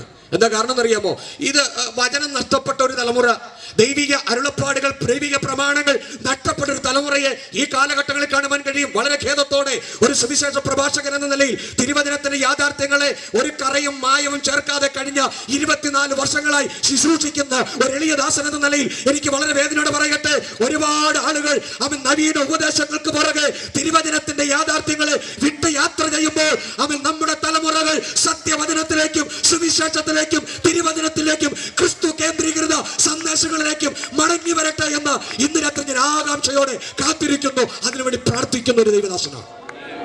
സ്തോത്രം. വചനം നഷ്ടപ്പെട്ട തലമുറ. എന്തായാലും അതിന്റെ കുഴപ്പം അറിയുമോ? അതൊരു ചെറിയ ഉദാഹരണം പറയുമ്പോൾ മനസ്സിലാകും. ഞാൻ ഈ ഉദാഹരണം പറയുന്നത് മനസ്സിലാക്കാൻ ആഴമായി പറയാൻ വേണ്ടിയിട്ട് പതിയാൻ വേണ്ടിയിട്ടാണ് അമേരിക്കയിലുള്ള ഒരു അപ്പച്ചനും അമ്മച്ചിയും കൂടെ അവരുടെ ബോസ് ആയിരിക്കുന്ന സായിപ്പിനും മദാമിക്കും ഒരു ഡിന്നർ കൊടുക്കാൻ ആഗ്രഹിച്ചു. അപ്പോൾ എന്ത് ആഹാരം കൊടുക്കും എന്ന് അവർ അങ്ങോട്ടും ഇങ്ങോട്ടും ഒക്കെ ആലോചിച്ചപ്പോൾ നമുക്ക് എല്ലാവർക്കും ഇഷ്ടമുള്ള ഒരു ആഹാരമാണല്ലോ. കേരളീയ ദേശീയ ആഹാരമാണ് പൊറോട്ട. അപ്പോൾ പൊറോട്ട ഇറച്ചി കൊടുക്കാം അത് പക്ഷേ അമ്മച്ചിക്ക് അങ്ങോട്ട് സ്വീകാര്യമായില്ല. അമ്മച്ചി പറഞ്ഞു വേണ്ട നമുക്ക് നാടൻ പച്ചക്കറിയൊക്കെ ഉണ്ടാക്കി നല്ല സദ്യ ഉണ്ടാക്കി കൊടുക്കുക അത് അപ്പച്ചനും സ്വീകാര്യമായില്ല. എന്തായാലും രണ്ടുപേരോട് ഒറ്റ തീരുമാനത്തിലെത്തി പുട്ടും കടലക്കറി ഉണ്ടാക്കി കൊടുക്കുക അങ്ങനെ പുട്ടും കടലക്കറിയൊക്കെ ഉണ്ടാക്കി ഡൈനിങ് ടേബിളിൽ ആവി പറക്കുന്ന പുട്ട് ഇരിക്കുക. മദാമയും സായിപ്പും വന്ന് കസേരയിലിരുന്നു. ഈ മദാമ കൊച്ചു കുറേ നേരം ഈ ആവി പറക്കുന്ന പുട്ടിലേക്ക് നോക്കിയിരുന്നിട്ട് അമ്മച്ചിയോട് ചോദിച്ചു അമ്മച്ചി പൊടി എങ്ങനെയാണ്? വടിയായത് അതിനെ കുറ്റം പറഞ്ഞിട്ട് കാര്യമില്ല. പൊടി പൊടിയായിട്ട് ഭരണിക്കകത്ത് കിടക്കുന്നതേ മദാമ കണ്ടുള്ളൂ. വടിയായ ചരിത്രം എന്ന് പറയുന്നത് അല്ല വടി ആയ ചരിത്രം നമ്മുടെ അമ്മച്ചി പറഞ്ഞു കൊടുത്തു. പുട്ട് കഴിച്ചു ഭയങ്കര രക്ഷപ്പെട്ടു. അത് ഉണ്ടാക്കുന്ന വിധമൊക്കെ ചോദിച്ച് മനസ്സിലാക്കിയിട്ടാണ് പോയത്. പോകുന്ന വഴിക്ക് മാർക്കറ്റിൽ കാറ് നിർത്തി കുറ്റി പൊടി കുടം തേങ്ങാപ്പീര എന്ന് വേണ്ട സകല സാധനം മേടിച്ചുകൊണ്ടാണ് മദാമ കൊച്ചു പോയത്. വീട്ടിൽ ചെന്നപ്പോൾ അച്ഛ സായ്പനോട് പറഞ്ഞു അച്ഛാ കിടന്നു. "എ, ഞാനൊരു കുറ്റി പുട്ട് ഉണ്ടാക്കി തിന്നിട്ടേ. കിടക്കുന്നുള്ളൂ. അപ്പോൾ സായിപ്പ് പറഞ്ഞു അങ്ങനെ ഒന്നാക്കണ്ട രണ്ടെണ്ണം ആയിക്കോട്ടെ എനിക്കും ഇഷ്ടപ്പെട്ടു. രണ്ട് കുറ്റി ഉണ്ടാക്കിക്കും. അപ്പോൾ പൊടിയൊക്കെ പാകത്തിന് നനച്ച് വെച്ച് കുടത്തിനകത്ത് വെള്ളം എടുത്ത് ഗ്യാസ് സ്റ്റവ് വെച്ച് അത് കത്തിച്ചു. ആവി വരാൻ തുടങ്ങിയപ്പോൾ നനച്ച് വെച്ചിരുന്ന പൊടിയെടുത്ത് കുറ്റിക്കകത്ത് ഇടാൻ തുടങ്ങി ഇട്ടിട്ടും ഇട്ടിട്ടും കുറ്റി നിറയുന്നില്ല. ഇത്രയും പറഞ്ഞപ്പോൾ പുട്ടുണ്ടാക്കുന്ന സഹോദരിമാരും ചിരിച്ചു അത് നന്നായി കഴിക്കുന്ന സഹോദരന്മാരും ചിരിച്ചു. നമുക്ക് കാര്യം മനസ്സിലായി. എന്താ? അടിസ്ഥാനം ഇട്ടില്ല ചില്ലിട്ടില്ല. ഇന്ന് ചില്ല് പോയ ഒരുപാട് ആൾക്കാരുണ്ട്. ചില്ല് നഷ്ടപ്പെട്ട ഒത്തിരി ക്രിസ്ത്യാനികളും ഉണ്ട് ചില്ല് നഷ്ടപ്പെട്ട ഒത്തിരി വിശ്വാസികളും ഉണ്ട് പക്ഷേ വെള്ളത്തിൽ കുഴഞ്ഞു പോകാതിരിക്കണമെങ്കിൽ അടിസ്ഥാനത്തിലേക്ക് മടങ്ങി വരണം. ദൈവവചനത്തിലേക്ക് മടങ്ങി വരണം. പ്രമാണത്തിലേക്ക് മടങ്ങി വരണം. ജീവിത വിശുദ്ധിയിലേക്ക് മടങ്ങി വരണം. വേർപാടിലേക്ക് സഭ മടങ്ങി വരണം. ദേവരാടിലേക്കും വിശുദ്ധിയിലേക്കും ദൈവമക്കൾ കടന്നു വരണം. തിരുവചനത്തിന്റെ സനാതന സത്യ സത്യങ്ങളെ അവൻ ഉറക്കെ വിളിച്ചു പറയുന്ന സത്യ സുവിശേഷത്തിന്റെ നിത്യ സുവിശേഷത്തിന്റെ വക്താക്കളായി ഒരു തലമുറ ഈ കാലഘട്ടങ്ങളിൽ എഴുന്നേൽക്കുവാൻ ആത്മാർത്ഥമായി പ്രാർത്ഥിക്കുവാൻ ഇന്ന് രാത്രി ഈ ദൂത് ഞാൻ ദൈവസഭയ്ക്കും ദൈവജനത്തിനും കൈമാറുകയാണ്. കർത്താവിന്റെ വരവ് അടുത്തിരിക്കുമ്പോൾ ഈ ദിവസങ്ങളിൽ ദൈവവചനത്തിലേക്ക് ജനം മടങ്ങി വരട്ടെ. ശരീരത്തിന്റെ തകർച്ചകളെ പരിഹരിക്കാൻ കഴിയുന്ന കർത്താവിനെ ഇന്ന് രാത്രി തിരിച്ചറിയുന്നവർക്കായി ഞാൻ ദൈവത്തിന് സ്വാതന്ത്ര്യം ചെയ്യുന്നു. ഒന്ന് അവൻ ശരീരത്തിന്റെ വിടുതൽ മാത്രമായിരിക്കരുത്. നമ്മുടെ ലക്ഷ്യം ആത്മാവിന് രക്ഷയായിരിക്കണം. അടുത്തൊരു കാര്യം കൂടെ പറഞ്ഞ് ആ ഭാഗം ഇടം. രണ്ടാമത്തെ എന്ന് പറയുന്നത് അവൻ നമുക്ക് ആവശ്യം അനുഗ്രഹം ആവശ്യമാണെങ്കിൽ പോലും അനുഗ്രഹത്തെക്കാൾ അംഗീകാരം നേടാൻ ആഗ്രഹിക്കണം. ഇതത്ര പെട്ടെന്ന് അങ്ങോട്ട് ഉൾക്കൊള്ളുവാൻ കഴിയുമെന്ന് എനിക്ക് അറിഞ്ഞുകൂടാ എങ്കിലും പറയാതിരിക്കാൻ നിവൃത്തിയില്ല. അനുഗ്രഹം വേണം ശരിയാണ് പക്ഷേ അനുഗ്രഹിക്കപ്പെട്ടവർ അംഗീകരിക്കപ്പെട്ടില്ലെങ്കിൽ അക്കരയിലേക്ക് എത്തില്ല. പക്ഷെ നീ ഇവിടെ അനുഗ്രഹിക്കപ്പെട്ടില്ലെങ്കിലും അംഗീകരിക്കപ്പെട്ടാൽ അവിടെ എത്തും. അത് തിരിച്ചറിയുന്നവരെ ഓർത്ത് ഞാൻ ദൈവത്തിന് സ്തോത്രം ചെയ്യുന്നു. അനുഗ്രഹമല്ല വലുത് അംഗീകാരമാവണം അംഗീകാരമാവണം. അവൻ ദൈവത്തിന്റെ വചനം പരിശോധിച്ചാൽ അറിയാം. തിരുവചനം തന്നെ പറയുന്നു. അത് വചനത്തിനകത്തൊരു തെളിവ് ഞാൻ പറയാം. ഇസ്രായേൽ മിസ്രൈമിട്ട് യാത്ര ചെയ്ത് മുൻപോട്ട് വരുന്ന പെസക ആചരിച്ച് ചെങ്കടൽ കടന്ന് മേഘത്തിന്റെ കീഴെ സഞ്ചരിച്ച് വന്ന അവരെ കുറിച്ച് കൊരിന്ത ലേഖനത്തിനകത്ത് ധന്യനായ പൗലോസ് അപ്പോസൽ വിളിച്ചു പറയുന്ന ഒരു കാര്യമുണ്ട്. പെസക ആചരിച്ചവർ ചെങ്കടൽ കടന്നവർ അവൻ മേഘത്തിന് കീഴെ സഞ്ചരിച്ചവർ പെസഹ അവൻ ക്രിസ്തുവിലുള്ള രക്ഷയെ കാണിക്കുന്നെങ്കിൽ ചെങ്കൽ കടന്നത് സ്നാനത്തിന് മുൻകുറിയെ കാണിക്കുന്ന മേഘത്തിന്റെ കീഴെ സഞ്ചരിക്കുന്നത് പരിശുദ്ധാത്മാഭിഷേകം പ്രാപിച്ച ഒരു യാത്രയെ കാണിക്കുന്നെങ്കിൽ രക്ഷിക്കപ്പെട്ടവർ സ്നാനപ്പെട്ടവർ അഭിഷേകം പ്രാപിച്ചവർ. ഇന്നൂടെ മാറ്റി ചിന്തിച്ചു നോക്കിക്കേ. അവിടെ മതി വയ്ക്കുന്നു അവർ മിക്ക പേരിലും ദൈവം പ്രസാദിച്ചില്ല ഞാൻ പറഞ്ഞ ചിന്തയിലേക്ക് കൊണ്ടുവന്നത് ചിന്തിച്ച് അവർ മിക്ക പേരെയും ദൈവം അംഗീകരിച്ചില്ല. അവർക്ക് ഒത്തിരി അനുഗ്രഹം ഉണ്ടായിരുന്നു. മിശ്രയും വിട്ട് കടന്നു വന്ന അന്ന് മുതൽ ചെരുപ്പ് തേഞ്ഞില്ല വസ്ത്രം ജീർണിച്ചില്ല. അവർക്ക് കുട ചോദിച്ചപ്പോൾ മേഘക്കുട കർത്താവ് കൊടുത്തു. ആഹാരം ചോദിച്ചപ്പോൾ സ്വർഗീയ ശക്തന്മാരുടെ ആഹാരം കൊടുത്തു. കാടപ്പക്ഷിയെ നൽകിക്കൊടുത്തു. ചോദിച്ചത് ചോദിച്ചതെല്ലാം അനുഗ്രഹമായി അവർക്ക് കൊടുത്തു. പക്ഷേ അനുഗ്രഹിക്കപ്പെട്ടവരെ കുറിച്ച് വചനം എഴുതിയത് അവർ ആരും അംഗീകരിക്കപ്പെട്ടില്ല. സ്നേഹിത ഇന്ന് രാത്രി നിന്റെ വിശ്വാസ ജീവിതം ക്രിസ്തുവിനുള്ള വിശ്വാസം അനുഗ്രഹത്തിന് വേണ്ടി മാത്രമാകരുത്. ഒരു അംഗീകാരത്തിന് വേണ്ടിയാകണം. ആ അംഗീകാരം നേടുന്ന ദൈവജനത്തെ ഓർത്ത് ഇന്ന് രാത്രി ഞാൻ ദൈവത്തിന് സ്വോത്രം ചെയ്യുന്നു. കർത്താവിന്റെ മഹത്വം കരേറ്റുകയാണ് ആ അംഗീകാരം പ്രാപിക്കുന്ന ദൈവജനം ക്രിസ്തുവിൽ അനുഗ്രഹിക്കപ്പെടുകയാണ് അപ്പോൾ ഒന്ന് മാനസികമായി തകർന്നവർ. യേശുവിന് അടുക്കിലേക്ക് വരുന്നു. അവർ യേശുവിന് അടുക്കൽ വരേണ്ടതുപോലെ വന്നപ്പോൾ യേശുവിനെ കാണേണ്ടതുപോലെ കണ്ടപ്പോൾ യേശുവിന് മുമ്പ് സമർപ്പിക്കേണ്ടതുപോലെ സമർപ്പിച്ചപ്പോൾ അവർക്ക് വിടുതലുണ്ടായി. രണ്ട് ശാരീരികമായി തകർച്ച പ്രാപിച്ചവർ യേശുവിന് അടുക്കലേക്ക് വന്നു. അവർ യേശുവിന് അടുക്കലേക്ക് വന്നപ്പോൾ സമർപ്പിക്കേണ്ടതുപോലെ സമർപ്പിച്ചു കഴിഞ്ഞപ്പോൾ ശരീരത്തിന്റെ വിടുതൽ അവർ പ്രാപിച്ചു. പക്ഷേ ശരീരത്തിന്റെ വിടുതൽ മാത്രമല്ല ആത്മാവിന്റെ രക്ഷയും കൈക്കൊള്ളുന്നവരായി മാറണം എന്ന ഈ വചനത്തിന്റെ അവസ്ഥകളെ തിരിച്ചറിയുന്ന ദൈവജനത്തിനായി ഞാൻ കർത്താവിന് സ്തോത്രം ചെയ്യുന്നു. കർത്താവിന് മഹത്വം കയറ്റുകയാണ് ഇന്ന് രാത്രി കർത്താവിന്റെ അടുക്കൽ വരുമ്പോൾ അമിത്ഷാ ആളുകൾ പറഞ്ഞ ആ കാര്യം ഒന്ന് ചിന്തിച്ചു നോക്കി കർത്താവിന്റെ അടുക്കലേക്ക് കുറച്ച് ആളുകൾ വന്നു. കർത്താവിന്റെ അടുക്കലേക്ക് ആളുകൾ വന്നിട്ട് അവർ ചോദിച്ചു ഗുരു കൈസർക്ക് കരം കൊടുക്കുന്നത്? വിഹിതമോ നല്ല ചോദ്യമാണ് അപ്പോൾ കർത്താവ് പറഞ്ഞൊരു പദം ഇതാണ്. കൈസർക്കുള്ളത് കൈസർക്കും ദൈവത്തിനുള്ളത്.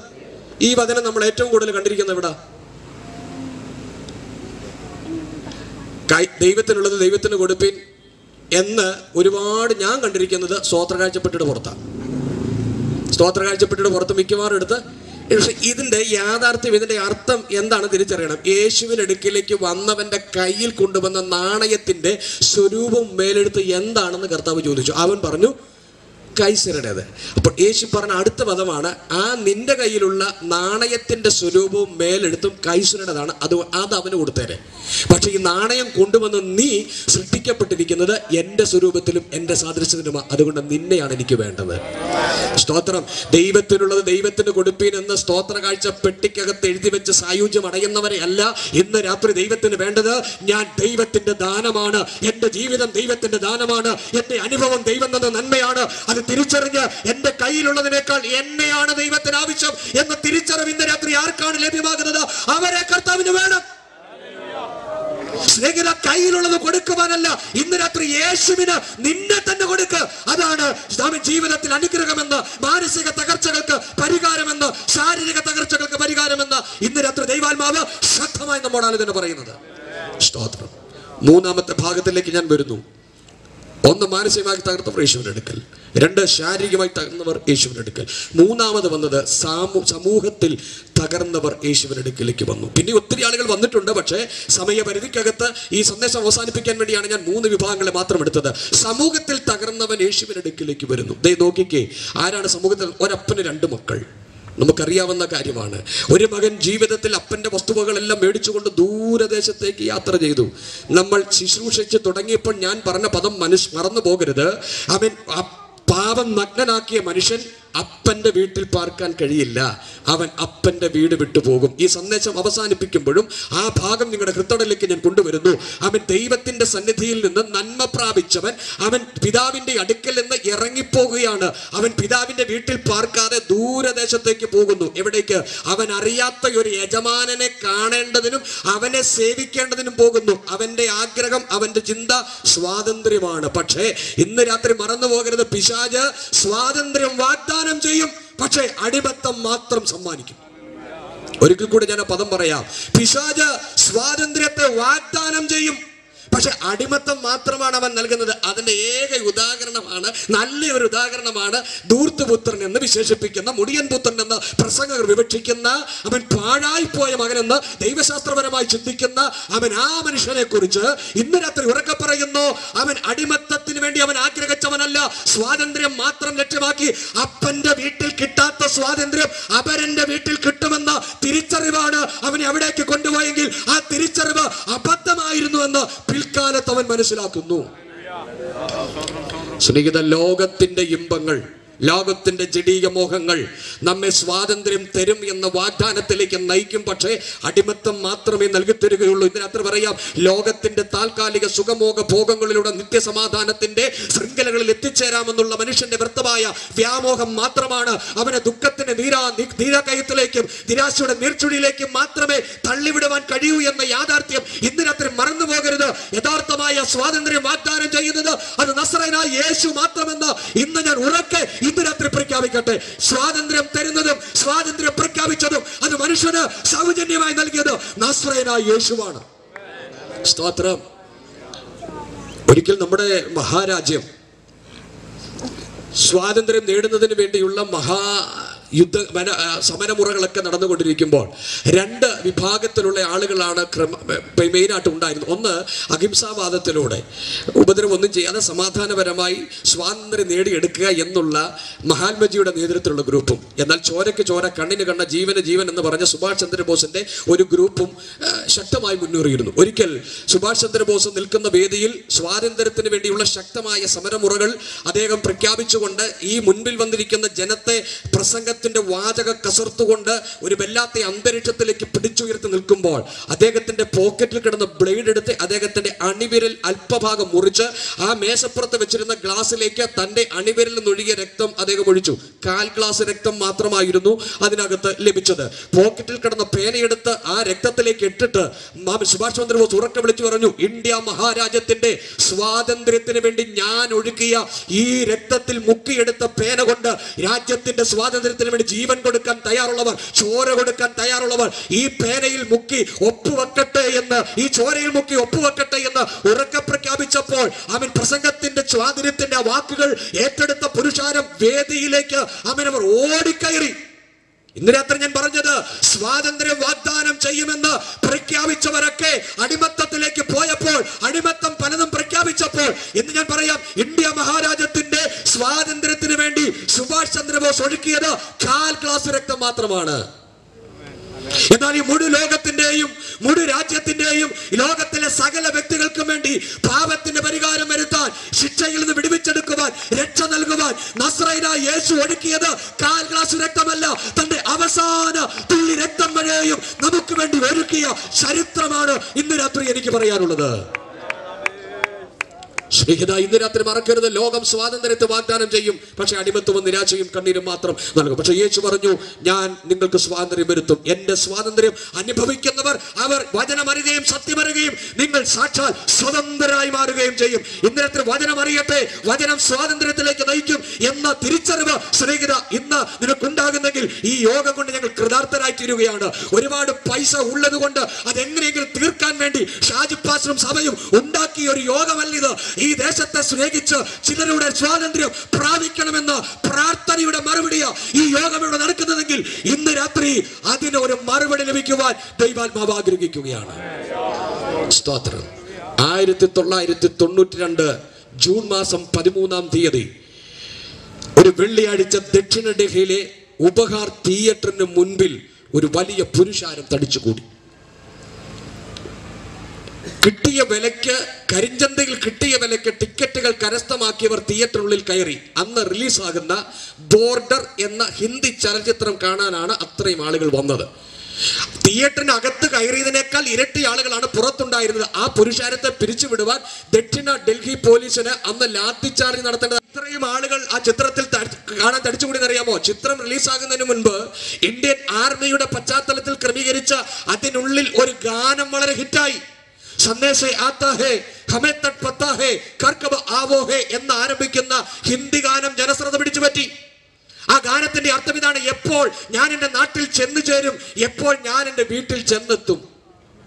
ഈ ഗാനത്തിൽ ആകൃഷ്ടരായവർ തിയേറ്ററിനകത്ത് കയറി ചിത്രം തുടങ്ങി അഞ്ചു മിനിറ്റ് കഴിഞ്ഞപ്പോൾ ഉപഹാർ തിയേറ്ററിന് തീപിടിച്ചു. നിരവധി ആളുകൾ തൽക്ഷണം വെന്നു മരിച്ചു. അറുപതും അറുപത്തിയഞ്ചും ശതമാനം തീപ്പൊള്ളലേറ്റവരായി നിരവധി ആളുകളെ തത്സമയം ഹോസ്പിറ്റലുകളിൽ അഡ്മിറ്റ് ചെയ്യപ്പെട്ടു. ഞാൻ എന്താണ് ഇന്ന് രാത്രി ഇത് പറഞ്ഞത്? സ്നേഹിത എപ്പോൾ എന്റെ വീട്ടിൽ ചെന്നു ചേരും? എപ്പോൾ ഞാൻ എന്റെ നാട്ടിൽ എത്തും എന്ന ഗാനത്തിൽ ആകൃഷ്ടരായി തിയേറ്ററിനകത്ത് എത്തിയ പലരും അവരുടെ വീടുകളിൽ അന്ന് തിരിച്ചെത്തിയില്ല. അവരുടെ നാടിൽ അവരെത്തിയില്ല. നാടും വീടും ഏറ്റെടുത്തത് തിരിച്ചറിയാനാവാത്ത കത്തിക്കരിഞ്ഞ ശവശരീരങ്ങളെയാണ് അവർ ഏറ്റെടുത്തതെങ്കിൽ. ഇന്ന് രാത്രി ഞാൻ പറയാം ലോകത്തിന്റെ ചെടിക മോഹ ഇമ്പങ്ങൾ പാപത്തിൽ നിന്ന് രമിക്കുന്നതിലൂടെ സ്വാതന്ത്ര്യം വാഗ്ദാനം ചെയ്യും. പക്ഷേ അടിമത്തം മാത്രമേ ലഭ്യമാകൂ. മരണമെന്ന ശിക്ഷാവിധി മാത്രമേ ലഭ്യമാകൂ എന്ന് ഇന്ന് രാത്രി മറക്കരുത് പക്ഷേ അതിന് മറുഭാഗമുണ്ട്. പാപത്തിന്റെ ശമ്പളം മരണം. അടുത്ത വാക്ക് ദൈവത്തിന്റെ കൃപാദാനമോ നമ്മുടെ കർത്താവായ യേശു ക്രിസ്തുവിൽ നിത്യജീവൻ തന്നെ. സ്നേഹിത ഇന്ന് രാത്രി വിടുവിക്കുന്ന രക്ഷിക്കുന്ന സൗഖ്യമാക്കുന്ന അവൻ മാനസിക തകർച്ചകളെ പരിഹരിക്കുന്ന സമൂഹത്തിന്റെ തകർച്ചകളെ പരിഹരിക്കുന്ന ഒരേ ഒരു രക്ഷകൻ അത് നസ്രയനായ യേശുവല്ലാതെ മറ്റൊരുവനില്ല എന്ന ഈ യാഥാർത്ഥ്യം ഇന്ന് രാത്രി തിരിച്ചറിയുന്നെങ്കിൽ ഒരു രക്ഷ ഒരു വിടുതൽ ഒരു സന്തോഷം ഒരു സമാധാനം ഇന്ന് രാത്രി നിന്റെ അരികിലേക്ക് ക്രിസ്തു വാഗ്ദാനം ചെയ്തു തരികയാണ്. അത് പ്രാപിക്കുന്ന ദൈവജനത്തിനായി അത് പ്രാപിക്കുന്ന ഓരോ ജീവനങ്ങൾക്കായി ഞാൻ ദൈവത്തിന് സ്തോത്രം ചെയ്യുന്നു. കർത്താവിന് മഹത്വം കരറ്റുകയാണ് യേശുവിന്റെ അടുക്കിലേക്ക് വരുന്ന ആ അനുഭവം. ഈ മനുഷ്യൻ നിന്ന സ്ഥലത്ത് തന്റെ ജീവിതത്തിൽ അനുഗ്രഹിക്കപ്പെടുന്നില്ല എന്ന അടിമത്തം മാത്രമേ ലഭ്യമാകുന്നു എന്ന് കണ്ട ഈ യൗവനക്കാരൻ അവിടം വിട്ട് അപ്പന്റെ വീട്ടിലേക്ക് മടങ്ങി വരാൻ ആഗ്രഹിക്കുന്നു. അപ്പ ഞാൻ സ്വർഗത്തോടും നിന്നോടും പാപം ചെയ്തിരിക്കുന്നു. ഇനി നിന്റെ മകൻ എന്ന് വിളിക്കപ്പെടുവാൻ ഞാൻ യോഗ്യനല്ല. കൂലിക്കാരൻ ഒരുത്തനെ പോലെ കരുതണം എന്ന് പറഞ്ഞ് അപ്പന്റെ വീട്ടിലേക്ക് വരുന്നവനെ പിതാവ് തന്റെ ഭവനത്തിലേക്ക് സ്നേഹത്തോടെ ആശ്ലേഷിച്ച് അകത്തേക്ക് ആനകിച്ച് കയറ്റി വിരുന്ന് കഴിക്കുന്ന മനോഹരമായ ഒരു ചിത്രം ഇതാണ്. രക്ഷിക്കപ്പെട്ട അവൻ രക്ഷിക്കപ്പെട്ട അനുഭവത്തിൽ പാപത്തിൽ നിന്ന് വീണ്ടെടുത്തൊരു ദൈവത്തിനെ കുറിച്ച് സ്വർഗത്തിലും ഇങ്ങനെ സന്തോഷമുണ്ടാകുന്നതോർത്ത് ഞാൻ ദൈവത്തിന് സ്തോത്രം ചെയ്യുന്നു. കർത്താവിന് മഹത്വം കരറ്റുകയാ. സമൂഹത്തിന്റെ തകർച്ചകളെ പരിഹരിക്കുന്ന നസ്രയനായ യേശു കർത്താവിന്റെ ദിവ്യ സാന്നിധ്യം ഇന്ന് തിരിച്ചറിയുന്നവരെ ഓർത്ത് ഞാൻ ദൈവത്തിന് സ്തോത്രം ചെയ്യുക ദൈവവൈതലേ യേശുവിന് പ്രാധാന്യം കൊടുക്ക്. ഇന്ന് രാത്രി വചനത്തിന് പ്രാധാന്യം കൊടുക്ക്. ഇന്ന് രാത്രി സുവിശേഷത്തിൽ വിശ്വസിക്കുക സുവിശേഷം അല്ലാതെ രക്ഷയ്ക്ക് യോഗ്യമായ മറ്റൊന്നും ഉലകത്തിൽ ഇല്ല കേട്ടോ. പാരമ്പര്യങ്ങളുടെ ഭാരച്ചുമട് മനുഷ്യന്റെ മേൽ കെട്ടിവെക്കുന്ന മതത്തിന്റെ കരാർ കൽപ്പനാതിർത്തികളെ ഭേദിച്ചുകൊണ്ട് യാഥാർത്ഥ്യത്തിന്റെ അരക്കത്തേക്ക് കയറിയ ഒരുവനെ ഉള്ളൂ. അത് നസറേന യേശുവാണെന്ന് തിരിച്ചറിയാതെ പോകരുത്. ചത്തചിന്തകളും ചടങ്ങുകളുമായി ചമ്രം പടഞ്ഞ ചന്തത്തിൽ അന്തമന്ത്രങ്ങൾ ഓതുന്ന കൊടുത്ത യാഗഷ്ടം പിടിച്ച ഭോഗാചാര്യന്മാരെയും അവരുടെ മതത്തെയും ധരിച്ച് മതത്തിന്റെ കനത്ത കൽത്തുറുങ്ങിനകത്ത് വെളിച്ചം കാണാനുള്ള വിജ്ഞാനം കാണാതെ കിടന്ന മനുഷ്യനെ അത് തകർത്തെറിഞ്ഞുകൊണ്ട് വെളിച്ചത്തിലേക്ക് മഹാശക്തമായ പ്രകാശധാരയിലേക്ക് നയിച്ച ഒരേ ഒരു അനുഭവം സുവിശേഷമാണെന്ന് യേശു ക്രിസ്തുവാണെന്ന് ഇന്ന് രാത്രി തിരിച്ചറിയാതെ പോകരുത്. യേശു രക്ഷിക്കുന്ന ദൈവമാണ്. അവൻ ശിക്ഷിക്കുന്ന ദൈവമല്ല യേശു വിടുവിക്കുന്ന ദൈവമാണ്. അവൻ നമുക്ക് ശാന്തിയും സമാധാനവും അവൻ നൽകിത്തരുന്ന ദൈവമാണെന്നുള്ള യാഥാർത്ഥ്യവും തിരിച്ചറിവും ഇന്ന് രാത്രി ഉണ്ടാകുന്ന ദൈവജനത്തിനായി ഞാൻ കർത്താവിന് സ്തോത്രം ചെയ്യുന്നു. കർത്താവിന് മഹത്വം വിശ്വാസം വർദ്ധിക്കട്ടെ. ദൈവത്തോടുള്ള ഭക്തി വർദ്ധിക്കട്ടെ. ആരാധനകൾ വർദ്ധിക്കട്ടെ. മുമ്പ് ഞാൻ ഓർപ്പിച്ചതുപോലെ ആരാധനയ്ക്ക് പകരം ആഹാരം എന്ന ചിന്ത വരാതെ അവൻ ആരാധിക്കുവാൻ തയ്യാറാകുമ്പോൾ സർവശക്തനായ ദൈവം പ്രവർത്തിക്കുമെന്നുള്ള നല്ല ചിന്താഗതിയുടെ മുൻപോട്ട് പോകാൻ തയ്യാറാകട്ടെ. ഈ മെസ്സേജ് ഞാൻ അവസാനിപ്പിക്കുവാൻ ആഗ്രഹിക്കുന്ന സമയത്തിന് മുൻപ് ഞാൻ ഒരു കാര്യം ദൈവജനത്തിന് അട്ടിവരയിട്ട് ഓർപ്പിക്കട്ടെ. ദൈവത്തിലെ ആരാധിക്കുവാനും പ്രാർത്ഥിക്കുവാനും തയ്യാറായാൽ ജീവിതത്തിൽ മാനസിക തകർച്ചകൾക്കും ശാരീരിക തകർച്ചകൾക്കും സാമൂഹിക തകർച്ചകൾക്കും പരിഹാരമുണ്ട്.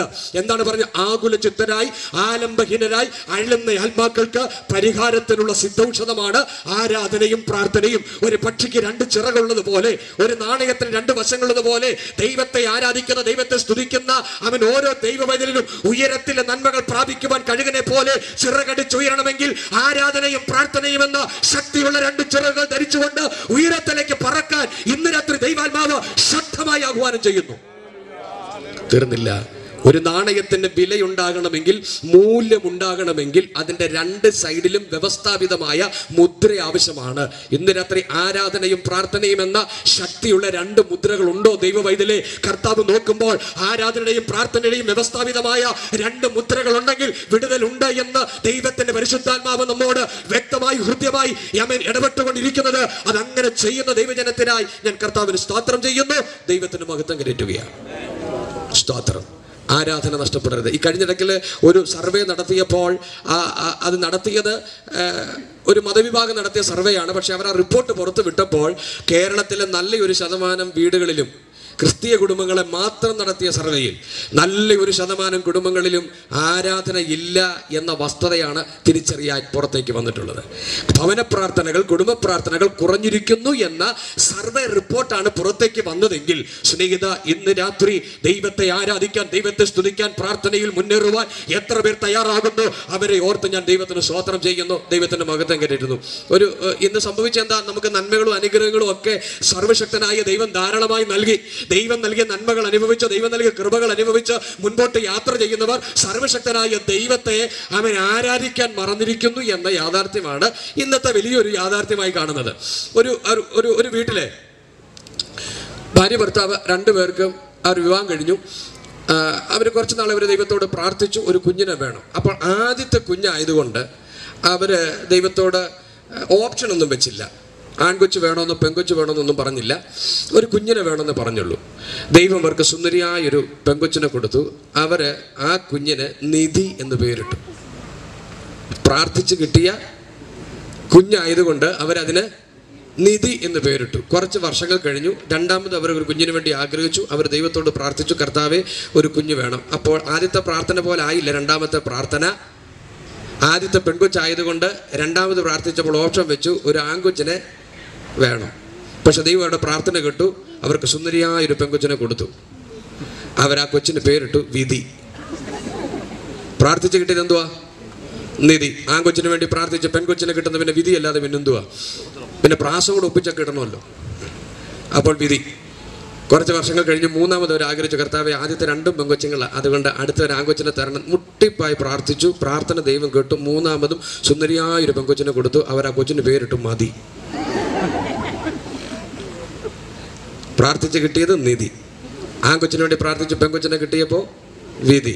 മൂന്നാമത് രണ്ട് പെങ്കൊച്ചുങ്ങൾ നിൽക്കുക വീണ്ടും ഒന്നിനെ കൂടെ കർത്താവ് കൊടുത്തപ്പോൾ മതി. ഇന്ന് ഞാൻ ചിരിച്ച് തള്ളരുത്. ഇന്ന് നമ്മുടെയൊക്കെ അനുഭവം ഇങ്ങനെ. ആരംഭകാലത്തെല്ലാം നിധി പോലെ കൊണ്ടുവരുന്നൊരു സമയമുണ്ട്. പക്ഷെ വർഷങ്ങൾ കുറച്ച് കിടന്ന് നന്മയും അനുഗ്രഹമൊക്കെ ഉണ്ടാക്കി പിന്നെ പലതും വിധിയായി കണ്ടു. ഇപ്പോൾ പലതും മതിയാക്കിയിരിക്കുകയാണ്. ആരാധനയും പ്രാർത്ഥനയും ദൈവത്തോടുള്ള ഭക്തിയും വിശുദ്ധ ജീവിതവും വേർപെട്ട ജീവിതവും ദൈവവചനം അനുശ്വാസിച്ച് മുൻപോട്ട് യാത്ര ചെയ്യുന്ന അനുഭവങ്ങളെ മതിയാക്കി നിൽക്കുന്ന ഒരു വല്ലാത്ത കാലഘട്ടത്തിൽ ദുഃഖിച്ച കാലഘട്ടത്തിൽ നാം പാർക്കുമ്പോൾ വളരെ ഭയത്തോടും വിറയിലോടും കർത്താവിന്റെ കാഹളധ്വനി എത്രയും വേഗത്തിൽ അവൻ സംജാതമാകാൻ പോകുന്ന ഈ കാലഘട്ടത്തിൽ ആരാധനയിലേക്കും പ്രാർത്ഥനയിലേക്കും വചനത്തിലേക്കും അവൻ ദൈവിക അനുഗ്രഹത്തിലേക്കും ദൈവജനം ദൈവസഭകൾ അവൻ ദൈവജനം മടങ്ങി വരട്ടെ എന്ന് ഇന്ന് രാത്രി ദൈവാത്മാവ് ശക്തമായ ആലോചന പറയുന്നു. എത്ര പേർ ഇന്ന് രാത്രി ആ വചനത്തിന്റെ അനുഭവത്തിൽ ഇറങ്ങി വരും മുടിയനായ പുത്രൻ ദൂർത്തുപുത്രൻ പാടായി പോയവൻ മടങ്ങി വന്ന വിരുന്നിന്റെ അനുഭവം പ്രാപിച്ചതുപോലെ ഇന്ന് രാത്രി യേശു കർത്താവ് രക്ഷ നൽകുന്ന ദൈവമെന്ന് തിരിച്ചറിഞ്ഞുകൊണ്ട് അവന്റെ പാലവിടത്തിലേക്ക് വന്ന് അവൻ അനുഗ്രഹത്തെക്കാൾ അംഗീകാരത്തിന് പ്രാധാന്യം കൊടുത്ത് ശരീരത്തിന്റെ വിടുതലിനേക്കാൾ ആത്മരക്ഷയ്ക്ക് പ്രാധാന്യം കൊടുത്ത് ഈ കാലഘട്ടങ്ങളിൽ എത്ര പേർ മുൻപോട്ട് പോകാൻ ആഗ്രഹിക്കുന്നു? അവരെ മാനിപ്പാൻ ദൈവം വിശ്വസ്തനാണ്. യേശു കർത്താവിന്റെ അടുക്കൽ കടന്നു വന്ന ഒരുപാട് ആളുകളെ നമുക്ക് കാണുവാൻ കഴിയുന്നുണ്ട്. യേശുവിന് അടുക്കലേക്ക് ഒരു സ്ത്രീ വന്നു. അവൾ ഒരു ഭരണി പൊട്ടിച്ച് അതിനകത്ത് വിലയേറിയ സ്വച്ഛജന മാംസതൈലം യേശുവിന്റെ കാൽക്കൽ പൂശി മാറി നിന്ന യൂത ആ തൈലത്തിനൊരു വിലയിട്ടു വില മുന്നൂറ് വെള്ളിക്കാശ്. ലോകത്തിന്റെ വിലയേറിയ തൈലത്തിന് കൊടുക്കാമെന്ന ഏറ്റവും നല്ല വില യൂതായിട്ടു ആമൻ. സ്വച്ഛ ജനമാംസ തൈലത്തിന് മുന്നൂറ് വെള്ളിക്കാശ്. സ്നേഹിത മറക്കരുത്. ഇന്ന് രാത്രി അതേ യൂത ഗിലയാദിലെ സാക്ഷാൽ സുഗന്ധ തൈലമായ യേശു ക്രിസ്തുവിനിട്ട വില വെറും മുപ്പത് വെള്ളിക്കാശായിരുന്നു. ഒരടിമയുടെ വിലയാണെന്ന് എനിക്കറിയാം. ആ ദൈവ ദൈവശാസ്ത്രപരമായ ചിന്ത അവിടെ നിൽക്കട്ടെ എന്നാൽ തന്നെ ഈ പ്രസംഗത്തിൽ ഒരു ചിന്ത നിങ്ങളുടെ ഉള്ളിലേക്ക് കൊണ്ടുവരേണ്ടതിനാണ് ഞാൻ ആ ഭാഗം പറയുന്നത്. ലോകത്തിന്റെ തൈലത്തിന് മുന്നൂറ് വെള്ളിക്കാശ് വിലമതിച്ചവൻ സാക്ഷാൽ രക്ഷകന് കൊടുത്ത വില മുപ്പത് വെള്ളിക്കാശ് പോലെ ഈ കാലഘട്ടത്തിലും ലോകത്തിന്റെ മറ്റിതര കാര്യങ്ങൾക്കും ഇതര വ്യക്തികൾക്കും വിലമതിക്കുന്നവർ എന്ത് യേശുവിന് വില കുറയ്ക്കുന്നത്? വിലയേറിയ ഒരുവൻ ഉയരത്തിൽ നിന്ന് ഇവിടെ വന്നെങ്കിൽ അത് നസ്രയനായ യേശുവല്ലാതെ മറ്റൊരുവൻ ഇല്ല എന്ന് ഇന്നലത്തെ തിരിച്ചറിയണം. എല്ലാ മധ്യസ്ഥന്മാർക്കും ഇടയിൽ ഒരു മധ്യസ്ഥനല്ല. യേശു യേശു ദൈവത്തിനും മനുഷ്യർക്കും ഇടയിൽ വിലയേറിയ ഏക മധ്യസ്ഥൻ. രക്ഷിക്കാൻ വന്നവരുടെ നടുവിൽ ഒരു രക്ഷകനല്ല. രക്ഷിക്കാൻ വന്നവർ ശിക്ഷിക്കുന്നവരായി മാറിയപ്പോൾ അവരുടെ നടുവിൽ അവൻ ഒരേ ഒരു ഏകലോക രക്ഷകൻ. അതാണ് യേശു. ഇന്ന് രാത്രി സ്നേഹിത മറന്നു പോകരുത്. യേശുവിന്റെ വില മതിക്കണം യേശുവിന് വില കൊടുക്കണം അവന് വില കുറച്ചു കാണരുത്. മാനസികമായും ശാരീരികമായും സാമൂഹികമായും തകർന്നവരെ യേശു രക്ഷിക്കുന്ന ദൈവം പക്ഷേ ഇന്ന് രാത്രി കൊടുക്കേണ്ട വില യേശുവിന് കൊടുക്കാൻ തയ്യാറാണോ? രക്ഷിക്കുന്ന ദൈവത്തിന് ഇന്ന് രാത്രി വില വിലമതിക്കാൻ തയ്യാറാണോ? അവൻ ആരാണെന്ന് തിരിച്ചറിഞ്ഞ് അവന് മഹത്വം കയറ്റുവാൻ അവനെ സേവിപ്പാൻ അവനെ പിൻപറ്റുവാൻ ദൈവത്തിന്റെ പരിശുദ്ധാത്മാവ് ഇന്ന് രാത്രി ശക്തമായി ആഹ്വാനം ചെയ്യുന്നു. ഞാൻ എന്റെ പ്രഭാഷണത്തിന് ഇവിടെ അവൻ ഫുൾ സ്റ്റോപ്പ് ഇട്ട് പ്രാർത്ഥിക്കുവാൻ ആഗ്രഹിക്കുകയാണ്. നസ്രൈന യേശു കർത്താവിന്റെ ഉയർപ്പും കർത്താവിന്റെ മടങ്ങിവരവും ഇന്ന് ദൈവജനത്തിന്റെ ഏറ്റവും മഹത്തരമായ പ്രത്യാശയായി നിലനിൽക്കുന്നു. അവൻ ക്രിസ്തീയ ദർശനം പ്രാപിച്ച ഒരു ദൈവവൈതൽ കാൽവരി ക്രൂശിൽ യേശു കർത്താവിന്റെ ഉയർപ്പിന്റെ ദർശനം കണ്ടുകൊണ്ട് മുൻപോട്ട് യാത്ര ചെയ്യുമ്പോൾ ഇന്ന് രാത്രി ഒരു കാര്യം കൂടി ആ ഭാഗത്ത് പറഞ്ഞ് ഞാൻ പ്രാർത്ഥനയ്ക്കായി സമയം വേർതിരിക്കുകയാണ്. അവൻ രാജ്ഘട്ടിൽ മഹാത്മജി അവൻ അടക്കം ചെയ്ത ആ കല്ലറയുടെ മുൻപിൽ വന്നുകൊണ്ട് ഇന്ത്യയുടെ വാനമ്പാടി എന്ന വിശേഷണനാമമുള്ള സരോജിനി നായിഡു ഒരിക്കൽ ഇങ്ങനെ വിളിച്ചു പറഞ്ഞു. അവൻ ഒരു വെള്ളിയാഴ്ച മഹാത്മജി മരിച്ചു. ശനിയാഴ്ച കഴിഞ്ഞ ഞായറാഴ്ച രാവിലെ ആ കല്ലറയുടെ മുൻപിൽ വന്നിട്ട് സരോജിനി നായിഡു വിളിച്ചു പറഞ്ഞത് എങ്ങനെയാണ് അല്ലയോ മഹാത്മജി ക്രിസ്ത്യാനികളുടെ ദൈവമെന്ന് വിശേഷിപ്പിക്കുന്ന യേശുവിനെ അങ്ങ് ഇഷ്ടപ്പെട്ടിരുന്നു. യേശുവിന്റെ ഉപദേശം അങ്ങ് സ്വീകരിച്ചിരുന്നു. യേശുവിനെ പോലെ ജീവിക്കുവാൻ അങ്ങ് ആഗ്രഹിച്ച വ്യക്തിയാണ് ആ ക്രിസ്ത്യാനികളുടെ ദൈവമെന്ന യേശു. ഒരു വെള്ളിയാഴ്ച മരിച്ച് ശനിയാഴ്ച കഴിഞ്ഞ് ഞായറാഴ്ച ഉയർത്തെഴുന്നേറ്റു എന്നാണ് ഞാൻ അറിഞ്ഞിട്ടുള്ളത്. അതുകൊണ്ട് യേശുവിനെ പോലെ ആകാൻ ആഗ്രഹിച്ച യേശുവിനെ ഇഷ്ടപ്പെട്ട മകാത്മാവെ അങ്ങ് മരിച്ചത് വെള്ളിയാഴ്ച ശനിയാഴ്ച കഴിഞ്ഞ് ഇന്ന് രാവിലെ മൂന്നാം ദിനം ഈ ഞായറാഴ്ച അങ്ങയുടെ കല്ലറ മുമ്പിൽ ഞാൻ വിളിച്ചു പറയുന്നു മകാത്മജിയെ ഈ കല്ലറയെ ഭേദിച്ച് പുറത്തു ഇന്ത്യയുടെ വാനമ്പാടിയായ സരോജിനി നായിഡുവിന്റെ ആ ശബ്ദം രാജ്ഘട്ടിൽ തട്ടി പ്രതിധ്വനിച്ചതല്ലാതെ മഹാത്മജിയുടെ കല്ലറ തുറന്നില്ല. തുറക്കപ്പെട്ട കല്ലറയിൽ നിന്ന് മഹാത്മജി പുനരുദ്ധാന ശരീരത്തോടെ പുറത്തു വന്നില്ല. എന്നാൽ ഞാൻ ഇന്ന് രാത്രി പറഞ്ഞ് അവസാനിപ്പിക്കട്ടെ. അവൻ രണ്ടായിരത്തി പത്തൊമ്പത് വർഷങ്ങൾക്ക് മുൻപ് അവൻ കാലഘട്ടത്തെ എന്നും എ ഡി എന്നും രണ്ടായി കീറി മുറിച്ചുകൊണ്ട് കാലധികമെങ്കിൽ കന്യാസുതനായി കാലെഴുത്തൊഴുത്തിൽ പിറന്ന കരുണാമയനായ കർത്താവ് അവൻ മാനവജാതിയുടെ പാപത്തിന്റെ പരിഹാരത്തിന് വേണ്ടി കാൽവരി ക്രൂശിൽ പരമയാഗമായി യോസേഫിന്റെ കല്ലറയിൽ അവനെ അടക്കം ചെയ്തു. പക്ഷേ മൂന്നാം ദിനത്തിൽ കല്ലറകളെ പേരിച്ചുകൊണ്ട് റോമൻ ഗവൺമെന്റിന്റെ മുദ്രകളെ തകർത്തെളിഞ്ഞുകൊണ്ട് സകല പാതാള ശക്തികളുടെയും സിംഹഗർജനത്തെ അമർച്ച ചെയ്തുകൊണ്ട് സകല കരിങ്കൽ ഭിത്തികളെയും ഭേദിച്ചുകൊണ്ട് നസ്രൈന യേശു ഉയർത്തെഴുന്നേറ്റു. ക്രിസ്ത്യാനിത്വത്തിന്റെ മുഖമുദ്ര എന്ന് പറയുന്നത് നസ്രൈനായ ഏകലോക രക്ഷിതാവായ യേശുവിന്റെ ജനനവും യേശുവിന്റെ ജീവിതവും യേശുവിന്റെ മരണവും മാത്രമല്ല മുഖമുദ്രയായി നിൽക്കുന്നത് യേശുവിന്റെ ഉയർപ്പാണ്. അവൻ ഉയർത്തെഴുന്നേറ്റില്ലെങ്കിൽ ഞങ്ങളുടെ പ്രസംഗം ഉയർത്താം. ഇന്ന് രാത്രി നമ്മുടെ മുഖമുദ്ര നമ്മുടെ ആവേശം നമ്മുടെ ഉല്ലാസം നമ്മുടെ ഉന്മേഷം കർത്താവിന്റെ ഉയർത്തെഴുപ്പാണ്. എന്നാൽ ഒരു ഘട്ടം കൂടെ ഒരു പടി കൂടെ മുൻപോട്ട് ഞാൻ പറയട്ടെ.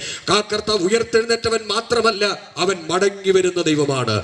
മടങ്ങി വരാൻ പോകുന്ന ദൈവമാണ്. ലോകത്തിൽ വന്നവരെല്ലാം പോയവരാകട്ടോ. മഹാത്മാഗാന്ധി വന്നു ഗോപാലകൃഷ്ണ ഗോഖലെ വന്നു രാജാറാം മോഹൻ റോയ് വന്നു സരോജിനി നായിഡു വന്നു. എന്ന് വേണ്ട ഉരുക്ക് വല്ലകൊണ്ട് ഉലകം ചവച്ചരച്ച യുഗപ്രഭാവന്മാർ ആയോധന കലാവീരന്മാർ പ്രഭാഷണ വടുക്കൽ പുണ്യപുരുഷന്മാർ എന്ന് വേണ്ട ഒരുപാട് ആളുകൾ ലോകത്തിൽ വന്നു. പക്ഷേ വന്നവർ അവർ വന്നവരെല്ലാം പോകാൻ വേണ്ടി വന്നവരാ. പക്ഷെ പോകാൻ വേണ്ടി വന്നവരുടെ നടുവിൽ വരാൻ വേണ്ടി പോയ ഒരുവനെ ഉള്ളൂ. അത് നസ്രായനായ യേശു നമ്മുടെ ആരാധനായ നമ്മുടെ രക്ഷകനായ യേശു. അവൻ പറഞ്ഞു ഞാൻ വേഗം മടങ്ങി വരും. അവന്റെ വരവിങ്കിൽ പ്രത്യാശയോടെ കാത്തിരിക്കുന്ന ദൈവജനം ഒരു നിമിഷം തൽസ്ഥാനങ്ങളിൽ നീട്ടു നിൽക്കുമോ? ഇന്ന് രാത്രി ഞാൻ നിങ്ങൾക്ക് വേണ്ടി പ്രാർത്ഥിക്കുവാൻ പോവുകയാണ്. അധ്വാനിക്കുന്നവരും ഭാരം ചുമക്കുന്നവരുമായുള്ള ഏവരുമേ നിങ്ങൾ എന്റെ അടുക്കൽ കടന്നു വരുവീൻ. ഞാൻ നിങ്ങളെ ആശ്വസിപ്പിക്കുന്നു. മാനസികമായി തകർന്നവർ ശാരീരികമായി തകർന്നവർ സാമൂഹികമായി തകർന്നവർ. യേശുവിന്റെ അടുക്കിലേക്ക് വന്നപ്പോൾ അവർ വിടുതലും അനുഗ്രഹവും പ്രാപിച്ചെങ്കിൽ ഇന്ന് രാത്രി അനുഗ്രഹങ്ങളെക്കാൾ അംഗീകരിക്കപ്പെടുന്നത് ശാരീരിക വിടുതലിനേക്കാൾ ആത്മരക്ഷയ്ക്ക് പ്രാധാന്യം കൊടുത്ത് ലോകത്തിന്റെ കാലിയാൾക്ക് വില മതിച്ചുകൊണ്ട് യാത്ര ചെയ്യുന്നതിനേക്കാൾ ആത്മീയ വിഷയത്തിനും ക്രിസ്തുവിനും വില കൊടുത്തുകൊണ്ട് മുൻപോട്ട് പോകുവാൻ തയ്യാറായാൽ ഇന്ന് രാത്രി ഒരു വിടുതലുണ്ട് സ്നേഹിത യേശു നിനക്ക് വേണ്ടിയാണ് വന്നത്. യേശു നിനക്ക് വേണ്ടിയാണ് ജീവിച്ചത്. യേശു നിനക്ക് വേണ്ടിയാണ് മരിച്ചത്. യേശു നിനക്ക് വേണ്ടിയാണ് ഉയർത്തെഴുന്നേറ്റത്. യേശു ഇനി നിനക്ക് വേണ്ടിയാണ് മടങ്ങി വരുവാൻ പോകുന്നത്. പാപം കൂടാതെ ആമൻ. പ്രത്യക്ഷനാകുന്നവൻ പാപരഹിതമായ ജീവിതം നയിക്കുന്ന തന്റെ മക്കളെ ചേർക്കുവാൻ വേഗത്തിൽ മടങ്ങി വരുന്നു. നീ ചെയ്ത പാപത്തിന്റെ പരിണതഫലമായി ക്രൂശിൽ പരമയാഗമായി തീർന്ന യേശുവിനെ ഇന്ന് രാത്രി നീ കാണാതെ പോകരുത്. ഇന്ന് രാത്രി തിരിച്ചറിയാതെ പോകരുത്. എത്ര പേർക്ക് ഇന്ന് രാത്രി അവൻ തീരുമാനത്തോടെ പറയുവാൻ കഴിയും യേശുവേ പാപത്തെ ഞാൻ സ്നേഹിക്കുന്നില്ല ലോകത്തെ ഞാൻ സ്നേഹിക്കുന്നില്ല ചെടിയ മോഹങ്ങളെ ഇമ്പങ്ങളെ ഞാൻ വിലമതിക്കുന്നില്ല. എന്റെ യേശു മതി എന്ന് എന്റെ യേശു മതി എന്ന് ഇന്ന് രാത്രി എത്ര പേർക്ക്? എല്ലാ കണ്ണുകളും അടക്കട്ടെ എല്ലാ കണ്ണുകളും. എല്ലാ കണ്ണുകളും ദിവസത്തിൽ അടയട്ടെ. വിശ്വാസത്തോടെ തീരുമാനത്തോടെ ദൈവകരങ്ങളിലേക്ക് ഇന്ന് രാത്രി നമ്മെ തന്നെ സമർപ്പിക്കുക. പാപത്തെ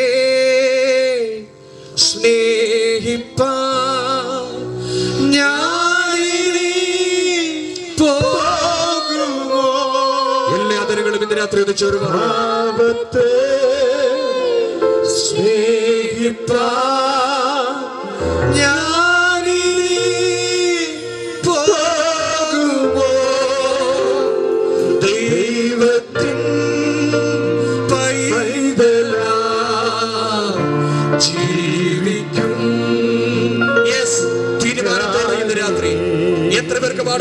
യേശുവേ അങ്ങയുടെ മകനായി അങ്ങടെ മകളായി ഞാൻ ജീവിക്കും.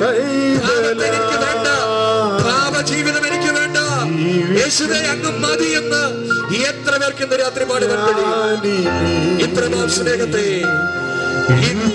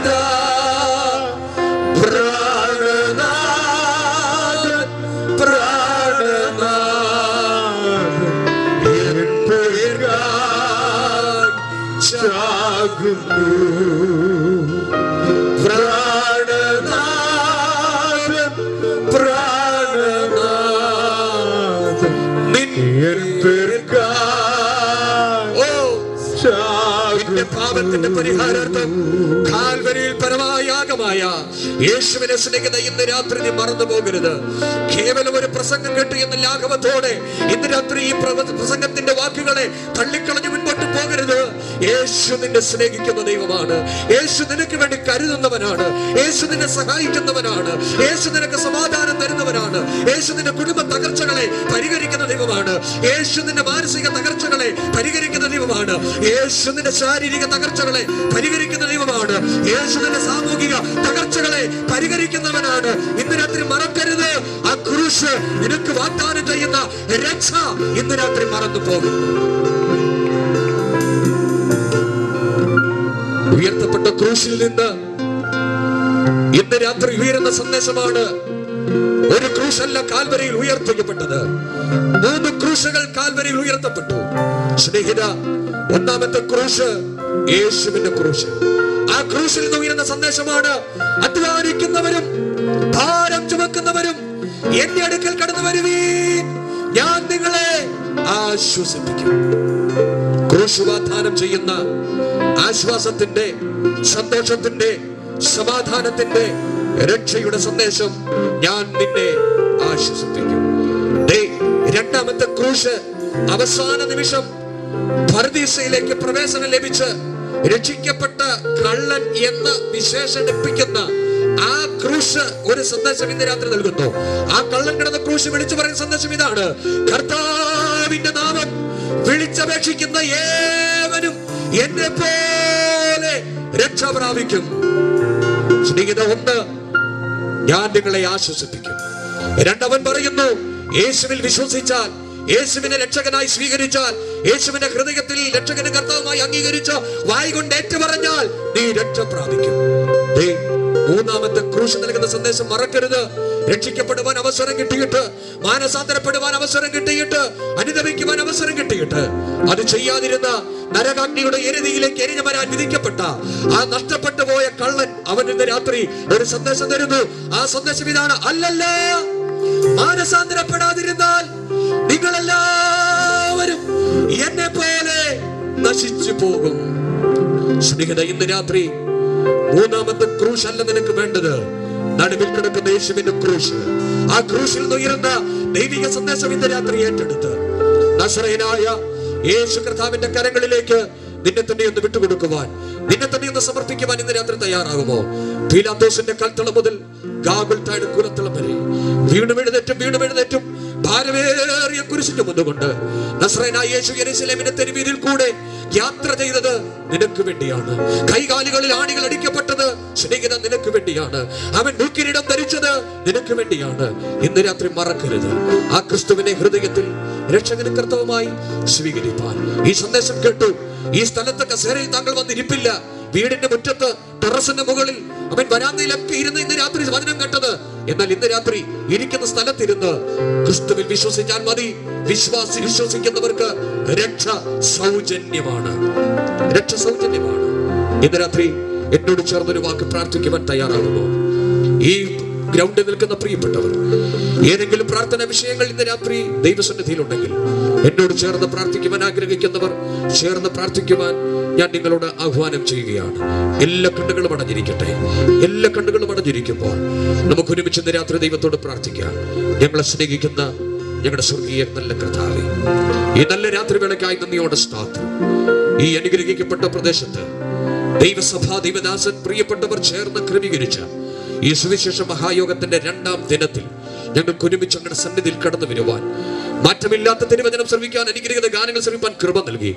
കർത്താവ് ഇന്ന് രാത്രി വചനം കേട്ട് അങ്ങയുടെ സന്നിധിയിൽ പ്രാർത്ഥനാനിരതരായി സ്തോത്രാർപ്പണത്തോടെ നിൽക്കുന്ന ഈ ദൈവജനത്തെ കർത്താവ് അങ്ങയുടെ കരങ്ങളിലേക്ക് ഏൽപ്പിച്ച് പ്രാർത്ഥിക്കുകയാണ്.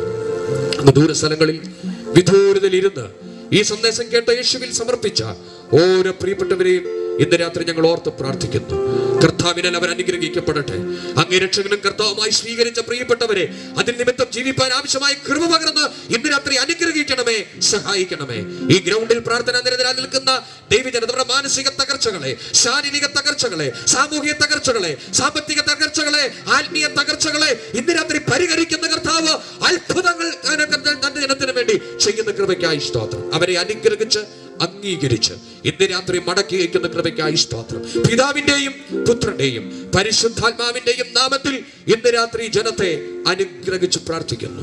അനുഗ്രഹമായിരിക്കാൻ സഹായിക്കും. പ്രാർത്ഥന കേട്ടതിനാൽ നന്ദി. ക്രിസ്തേശുവിൻ ധന്യമുള്ള നാമത്തിൽ തന്നെ. ആമേൻ.